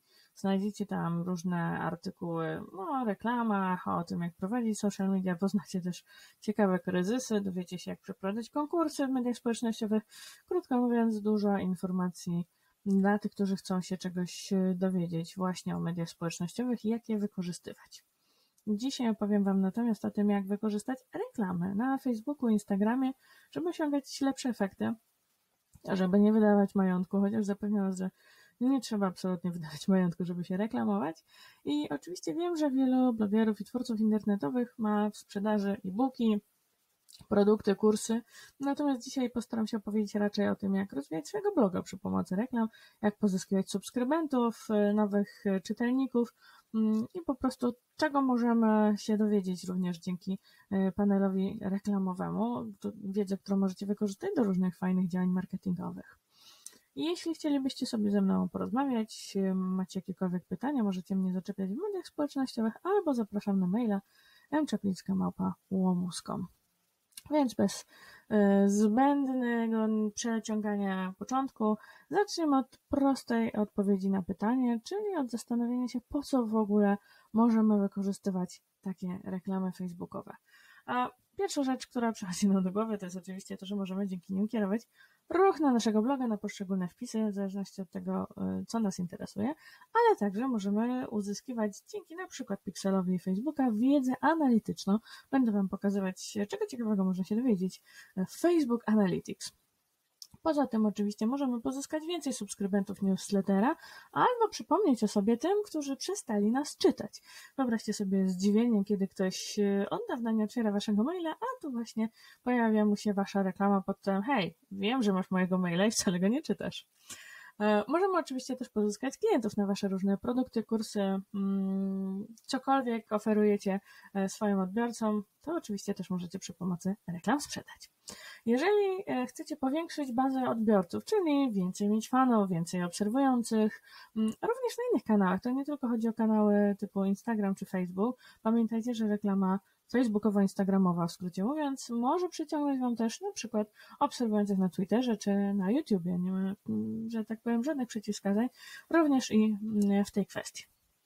Jeżeli tworzycie tak zwane lead magnety, czyli e, jakiekolwiek e, e-booki, white papery, czy jakiekolwiek materiały, które można pobrać po zostawieniu Wam maila, to na pewno mm, kampanie robione przy pomocy reklam mogą być bardzo skuteczne, bo możemy je robić na kilka sposobów i w ten sposób zwiększać bazę mailową, to nie muszą być konkretnie subskrybenci naszego newslettera, to może być baza mailowa nawet do tego, żeby potem e, na nią wyświetlać reklamę. Więc jeżeli zbieracie maile, chcecie zbierać maile oferując jakąś treść, e, to jak najbardziej kampanie lead magnetowe na pewno fajnie działają przy pomocy kampanii reklamowych. Oczywiście możecie pozyskiwać w ten sposób nowych odbiorców w ogóle, nowych czytelników, e, nowe osoby, które dowiedzą się mm, o waszej marce osobistej, e, nowe osoby, które poznają wasze produkty, które macie w ofercie, także jak najbardziej tutaj możecie e, mieć możliwość naprawdę poszerzenia grona swoich odbiorców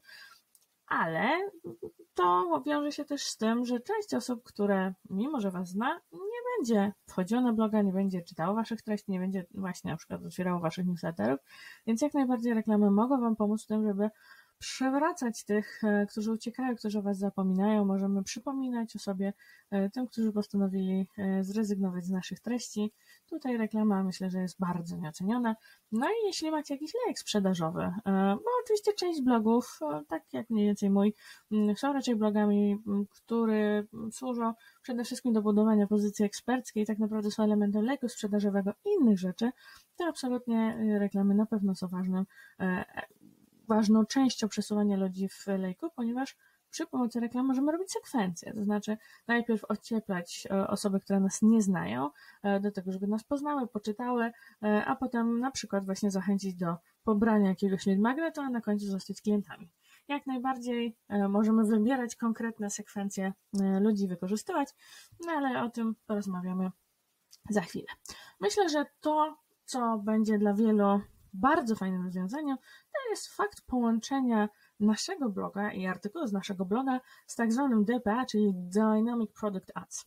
E, co to są DPA? To są takie zazwyczaj reklamy, które są dedykowane dla e-commerce, czyli jeżeli mamy sklep internetowy, wgrywamy katalog naszych produktów i reklama automatycznie się generuje. Co więcej, e, reklama jest na tyle fajna, że możemy sobie ustawić poszczególne mm, parametry, według których ma się wyświetlać reklamy naszym odbiorcom.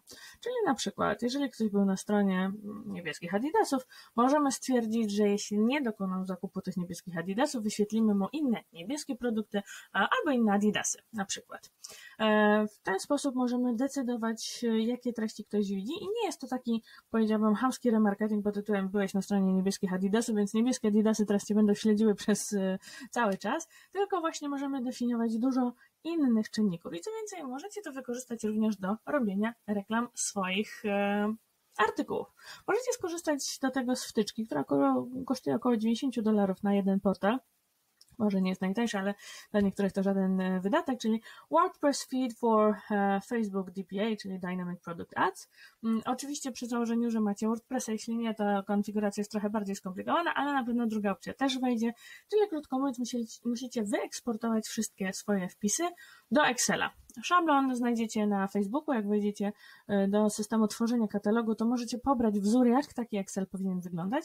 Więc jeśli jesteście w stanie połączyć swojego bloga z tym Excelem, aby każdy artykuł jak był osobnym e, wierszem w takim właśnie pliku, to w tym momencie możecie automatycznie potem zasysać z tego Excela dane do waszego e, katalogu. Oczywiście musicie mieć też zainstalowany pixel Facebooka na swojej stronie, na swoim blogu e, i najlepiej zdefiniować sobie zdarzenie view content, czyli każda osoba, która była na stronie waszego artykułu, e, że dokonała tego zdarzenia pod tytułem view content, czyli zobaczyła treść. To też po to, żeby odróżnić od osób, które na przykład były na stronie głównej, na stronie kontaktu, czyli nie były na stronach artykułowych. I co ciekawe, kiedy wgracie sobie taki katalog e, swoich artykułów, możecie potem właśnie ustalać różne mm, zestawienia, czyli możecie na przykład zrobić zestawienie według kategorii z waszego bloga, jeśli chodzi o artykuły, mm, według autorów, jeśli na przykład macie więcej niż jednego autora. Możecie zrobić zestawienia na podstawie tematyki, e, czyli tak naprawdę wielu innych czynników i w tym momencie możecie wyświetlać reklamy karuzelowe, czyli przedstawiające kilka różnych artykułów, które będą jak najbardziej dostosowane do waszego odbiorcy. Czyli zamiast tworzyć pojedynczą reklamę waszego jakiegoś konkretnego tekstu, możecie wgrać bazę na przykład 2000 tekstów, które macie, czy nawet 100 tekstów e, i w tym momencie wyświetlać reklamę w zależności od tego, co ktoś czytał. Czyli jeśli ktoś czytał, e, załóżmy kategorię przepisów kulinarnych, to możemy mu wyświetlać dalej e, artykuły z kategorii przepisów kulinarnych, a nie najnowszy nasz artykuł. Więc myślę, że to jest bardzo fajne rozwiązanie, które warto wdrożyć. Nie jest zbyt skomplikowane, oczywiście trzeba wiedzieć jak, ale zachęcam do tego serdecznie, bo może to naprawdę fajnie podbudować, jeśli chodzi o bazę Waszych odbiorców. Kolejną rzeczą, e, na które trzeba zwrócić uwagę, to jest oczywiście ten pixel Facebooka, o którym wspomniałam przed chwilą. Jeśli jeszcze nie macie go zainstalowanego, koniecznie to zróbcie. On nie jest e, niezbędny, żeby robić reklamy, ale szkoda robić reklamy bez pixela, a co więcej, warto mieć pixela nawet jeśli nie robicie reklam. O tym, jak można wykorzystać wiedzę z pixela opowiem jeszcze za chwilę, mm, ale naprawdę zachęcam Was do tego, szczególnie, że to jest zazwyczaj dziecinne łatwe. Jeśli chodzi o WordPressa, jest pełno różnych wtyczek. E, w wielu różnych innych systemach e, blogowych również są gotowe rozwiązania, a jeśli macie bardzo autorskiego bloga, po prostu wklejcie gotowy kod. E, Facebook wszystko tłumaczy, jak wkleić, mm, aby właśnie Pixel mógł mierzyć, kto wchodzi na naszą stronę, bo tak naprawdę do tego się to sprowadza. Facebook rozpoznaje użytkowników, które wchodzą mm, na naszą stronę i co jeszcze możemy sprawdzić, oprócz tego, że weszli. E, ten wspomniany wcześniej view content, czyli właśnie fajnie jest podpiąć wszystkie nasze artykuły, aby odróżnić osoby, które były tylko na przykład na stronie głównej od tych e, osób, które faktycznie czytały nasze artykuły. E, kolejna fajna rzecz, możemy zbierać ludzi, którzy kontaktowali się z nami. Jeżeli macie formularz kontaktowy albo jakikolwiek mm, inny tego typu miejsce kontaktowe, mm, to możecie sobie zrobić osobną grupę ludzi, którzy się z wami kontaktowali. Analogicznie możecie sobie zrobić zdarzenie dotyczące wyszukiwania, czyli wszystkie osoby, które czegoś szukały przy pomocy waszej wyszukiwarki na blogu. Jeżeli macie newslettera, możecie zdefiniować osoby, które kliknęły, aby zapisać się na wasz newsletter i otrzymały e, informacje pod tym dzięki za zapis na naszego newslettera, no to oczywiście możecie je opatrzyć zdarzeniem subskrypcję, żeby również wyróżnić sobie taką grupę. No i oczywiście, jeśli macie na przykład e, jakiekolwiek e, kwestie sprzedażowe e, możecie sobie tutaj wyróżnić jako lead, obojętnie czy to będzie pobranie czegoś, czy to będzie właśnie zostawienie gdzieś swojego maila, jeśli nie jest to subskrypcja newsletterowa, tak naprawdę dużo zależy od tego, jaki macie model albo sprzedażowy, albo po prostu działania z odbiorcami.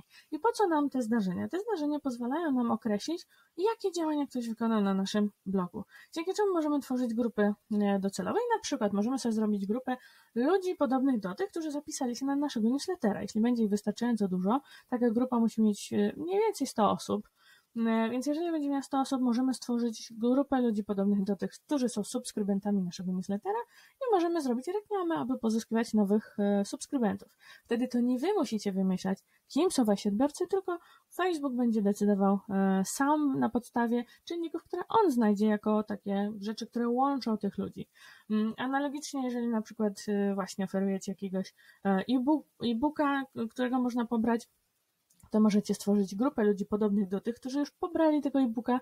E, I jeśli nawet nie macie maili, to w ten sposób możecie sobie e, takie nowe grupy reklamowe robić i są bardzo skuteczne. Zazwyczaj ludzie podobni do, czyli tak zwany lookalike, są dużo skuteczniejszymi grupami niż takie właśnie przypadkowe, wymyślone e, przez Was. Jak to w praktyce wygląda? Tutaj statystyki z, z mojego Pixela. Mm, jak widzicie, jest pokazane, ile osób weszło na stronę, ile osób wykonało tę akcję kontaktową, wyszukanie na oczywiście szału nie ma, e, ale również też zasięg mojego bloga nie jest wystarczająco e, duży, żeby faktycznie mm, aż tak dużo mm, osób e, na przykład się ze mną kontaktowało. Ale jak widzicie, możemy od razu przeglądać takie statystyki, jeśli chodzi o samego Pixela. Ale zachęcam Was do tego, żebyście skorzystali też z Google Analytics. Z Google Analytics, Facebook Analytics. Facebook Analytics, właśnie w przeciwieństwie do Google Analytics, daje nam dostęp do troszkę innych treści. Możemy oczywiście uzyskać pewne te same treści w jednym drugim narzędziu, ale na przykład Facebook Analytics umożliwia nam analizowanie naszych danych również pod kątem e, treści z naszego fanpage'a, czyli możemy jednocześnie analizować ludzi, którzy byli na naszej stronie internetowej, jak i ludzi, którzy są na naszym fanpage'u. Stąd na przykład możemy sobie zobaczyć wykres, jeśli chodzi o aktywnych użytkowników według godzin, czyli możemy zobaczyć, w których godzinach faktycznie nasi fani oraz czytelnicy są jednocześnie mm, online. Oczywiście im ciemniejsza kratka, tym bardziej są online, tak, poniedziałek o 5 nad ranem niepokoi mnie, e, szczególnie, że nie publikuję wtedy treści, e, ale w ten sposób możecie e, zastanawiając się, kiedy na przykład publikować wpisy, czy kiedy publikować posty na fanpage'u, macie tutaj prostą odpowiedź. Możecie dokładnie zobaczyć, w jakie dni tygodnia i w jakich godzinach. Dla ułatwienia ja publikuję na przykład posty we wtorki między 8 powiedzmy a 10 wcale to nie jest, że tak powiem, godzina najczęstszej, najczęstszego czytania. Paradoksalnie uda o czwartej nad ranem potem. No, ciekawe.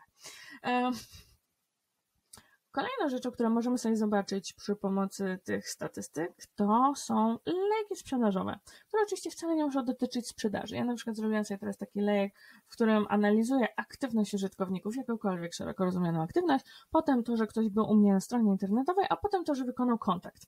I co więcej, podzieliłam sobie to według płci, na przykład, żeby wiedzieć, e, czy któraś płeć dominuje. Paradoksalnie, chociaż mężczyzn e, jest mniej aktywnych na moim fanpage'u i na moim blogu i mimo, że mężczyzn mniej wchodzi na moją stronę, to jednak e, jakby statystycznie mm, większy odsetek tych, którzy byli aktywni wchodzi potem na stronę, bo 20% e, to widzicie tutaj e, na dole.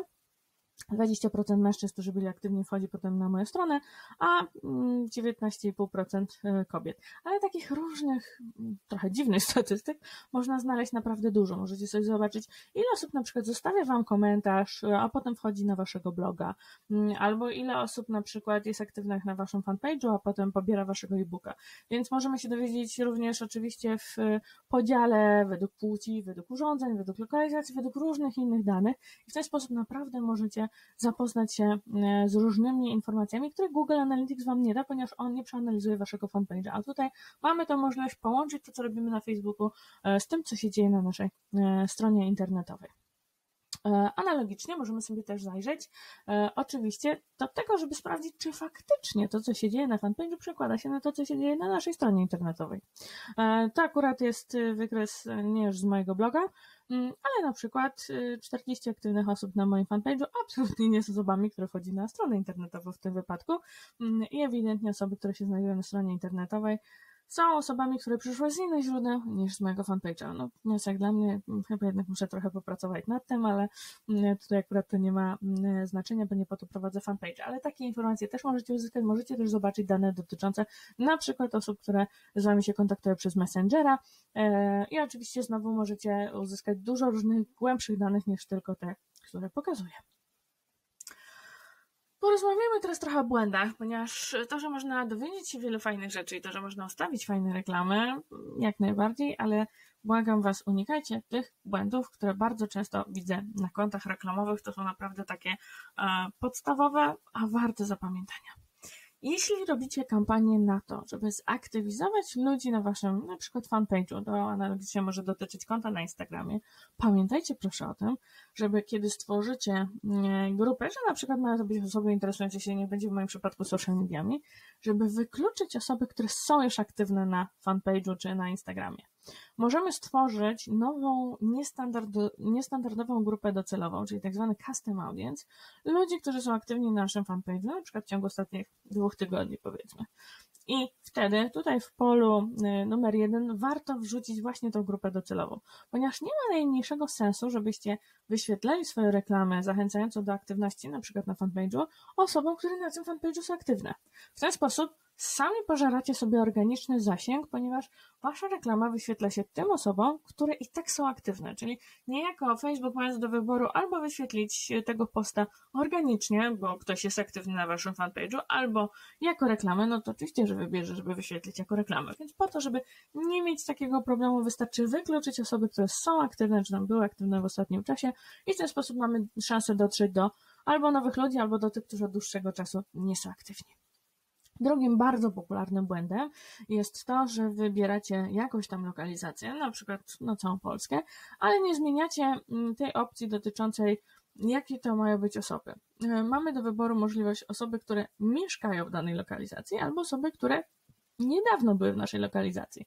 Więc jeśli zostawicie to tak, jak jest w, tutaj punkcie drugim, pojawią się Wam również osoby, które na przykład przyjechały do naszego kraju na wakacje, czy osoby, które są chwilowo w naszym kraju, no, ale są na przykład osobami z zagranicy, ponieważ jeżeli są chwilowo, pasują pod tą kategorię. Więc jeżeli zależy Wam tylko na mieszkańcach i mieszkankach na przykład Polski, to absolutnie tutaj ograniczcie to, to, to lokalizację do osób, które mieszkają e, w danym kraju. To szczególnie dotyczy, jeśli na przykład macie bloga jakiegoś, chociażby dotyczącego miasta, czy waszej okolicy, tym bardziej warto to ograniczyć, żeby mm, nie wyświetlać się osobom, które są tylko przejazdem, bo na takie osoby możecie oczywiście zrobić zupełnie inną reklamę pod tytułem przyjechałeś w naszą okolicę, zobacz fajnego bloga i zobacz, co warto u nas robić.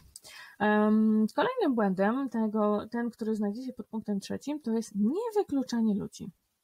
To jest oczywiście bardzo istotne w przypadku reklam takich e, sprzedażowych, no bo jeżeli będziemy wyświetlać naszą reklamę przypadkowym osobom, to każde wyświetlenie nas kosztuje, czyli im więcej wyświetleń, które nie ma sensu, tym więcej płacicie e, Facebookowi za sam fakt, że ktoś, kto nie będzie waszym klientem, subskrybentem i tak dalej, i tak zobaczy waszą reklamę. Kto na pewno nie będzie się interesował, no to dużo zależy od tego, komu chcecie się wyświetlać. Jeśli na przykład macie bloga parentingowego, no to na pewno musicie wykluczać osoby, które nie są rodzicami. E, jeżeli na przykład e, macie bloga dotyczącego mm, niech będzie mm, jakichś kwestii specyficznych, mm, hobbystycznych, to warto tutaj wykluczać osoby, które na pewno e, w danym hobby się nie odnajdą. Wykluczenia są przede wszystkim po to, żebyście wy zaoszczędzili pieniądze, nie wyświetlając swojej reklamy komuś, kto absolutnie nie pasuje do waszej kategorii czwartym punkcie jest mm, możliwość rozszerzenia e, zasięgu Waszej reklamy, czyli zrobienia jeszcze większej grupy docelowej. Bardzo ostrożnie z tego korzystajcie, ponieważ jak sami się przekonacie e, po pierwszym razie, jeżeli wybierzecie sobie jakąś dobrze skrojoną grupę docelową i klikniecie ten przycisk, to Wasza grupa docelowa się podwoi, potroi albo nawet jeszcze bardziej rozmnoży i przestaniecie mieć tak naprawdę kontrolę nad tym, komu się wyświetlacie. Jeśli jest Wam trochę obojętne, komu się wyświetlacie, to oczywiście nie ma problemu, ale w większości przypadków raczej bym sugerowała, że żebyście się dobrze zastanowili, czy na pewno chcecie się wyświetlać przypadkowym osobom. No i po piąte, zachęcam do tego, żeby jednak wybrać język, mm, ponieważ wbrew pozorom, na przykład w Polsce, mamy kilka procent zawsze e, obcokrajowców, którzy w ogóle języka polskiego nie znają, więc wyświetlanie im na przykład postów z bloga po polsku jest po prostu bez sensu. Kolejna rzecz, zwracajcie uwagę na to, gdzie się wyświetlacie, czyli nie róbcie tego automatycznego wyświetlenia, tylko jednak zwracajcie uwagę. Jeśli wasz blog jest słabo optymalizowany pod urządzenia mobilne, zdecydowanie wykluczcie reklamy mobilne, bo bez sensu, żebyście e, przekierowywali ruch, ruch, który za chwilę wyjdzie z waszej strony, bo po prostu nie da się czytać artykułów. Jeśli się wyświetlacie, na przykład w tak zwanym Audience Network, czyli w innych stronach, zastanówcie się, czy na pewno chcecie się znajdować ze swoją reklamą, na przykład na Fakt24, który też ma mm, system reklamowy mm, Facebooka. Jeśli nie jesteście pewni jakiejś lokalizacji, lepiej wybrać mniej niż więcej, bo naprawdę ta reklama nadal będzie działała, może być ciut droższa, ale za to będziecie mieli pewność, gdzie się wyświetlacie i też w jakim kontekście. E, kolejna sprawa, kiedy robicie reklamę na ruch, która pewnie będzie najpopularniejszą reklamą, którą robicie, starajcie się wybierać nie kliknięcia, tak jak jest z automatu w, w właśnie na poziomie zestawów reklamowych wybrane, tylko starajcie się zrobić jednak landing page views, czyli odwiedzenia strony docelowej. Jeżeli macie zainstalowany Pixel, na pewno ta opcja będzie. Dlaczego? Dlatego, że kliknięcie oznacza, że Facebook będzie szukał osób, które będą klikały w reklamę ale można w reklamę kliknąć i wcale nie przejść na waszego bloga. Można kliknąć w reklamę i wylądować na waszym fanpage'u, albo można kliknąć w reklamę, na przykład, żeby yy, chociażby kliknąć jakikolwiek inny element. Więc pamiętajcie, że na kliknięcie oznacza każdy element, nawet jeżeli ktoś kliknie na przykład lajka pod tą reklamą. Wam zależy na tym, żeby ludzie lądowali na waszym blogu, więc właśnie odwiedziny strony docelowej.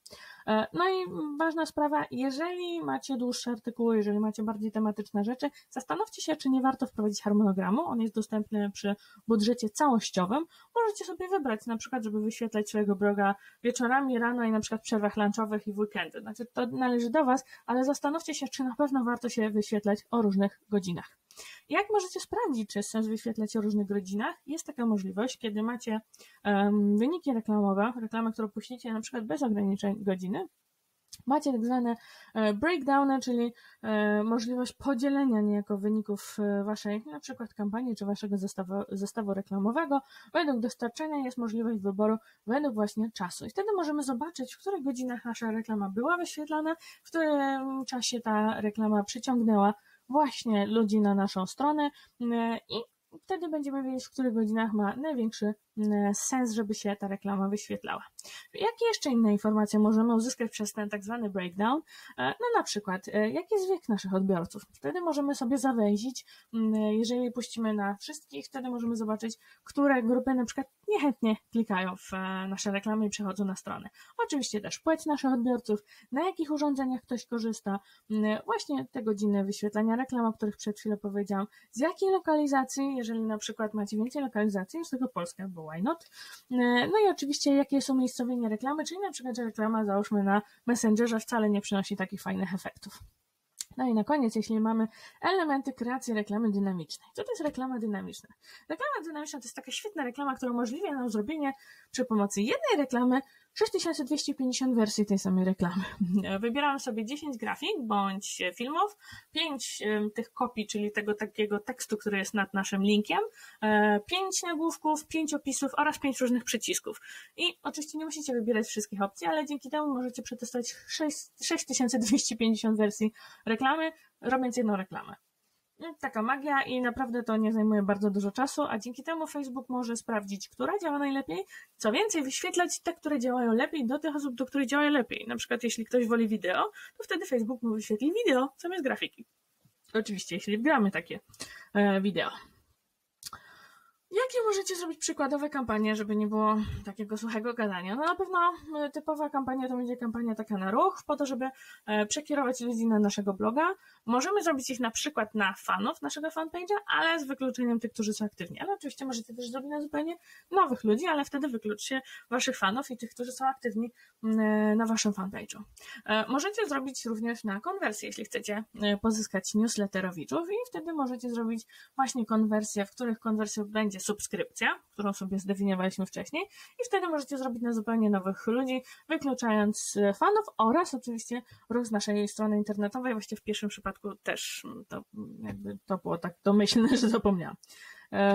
Jeśli na przykład chcecie pozyskać e, inne osoby, możecie sobie zrobić e, ruch na stronę, na stronę internetową i wtedy do tych osób, które były na przykład na naszej stronie, załóżmy ostatni raz dwa miesiące temu, ale wykluczyć te, które były na przykład w ciągu ostatnich dwóch tygodni.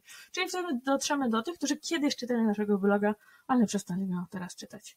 Oczywiście tak naprawdę tych wszystkich e, kampanii, które możecie robić jest bardzo, bardzo dużo. Możecie też uwzględnić właśnie kampanie ludzi podobnych do, czy na przykład zrobić kampanię na waszych subskrybentów, na fanów, na osoby, które są na koncie instagramowym na przykład aktywne, na naprawdę bardzo różne wersje, włącznie z wgrywaniem waszych e, list na przykład, jeśli macie e-maile chociażby właśnie z takich lead magnetów, macie bardzo dużo opcji do wyboru i bardzo często to są zupełnie niezimne bazy, czyli to są takie bazy ludzi, którzy już Was znają, więc wtedy jest dużo większa szansa, że chętnie będą Was czytać czy oglądać. No i pytanie oczywiście, czy to jest drogie.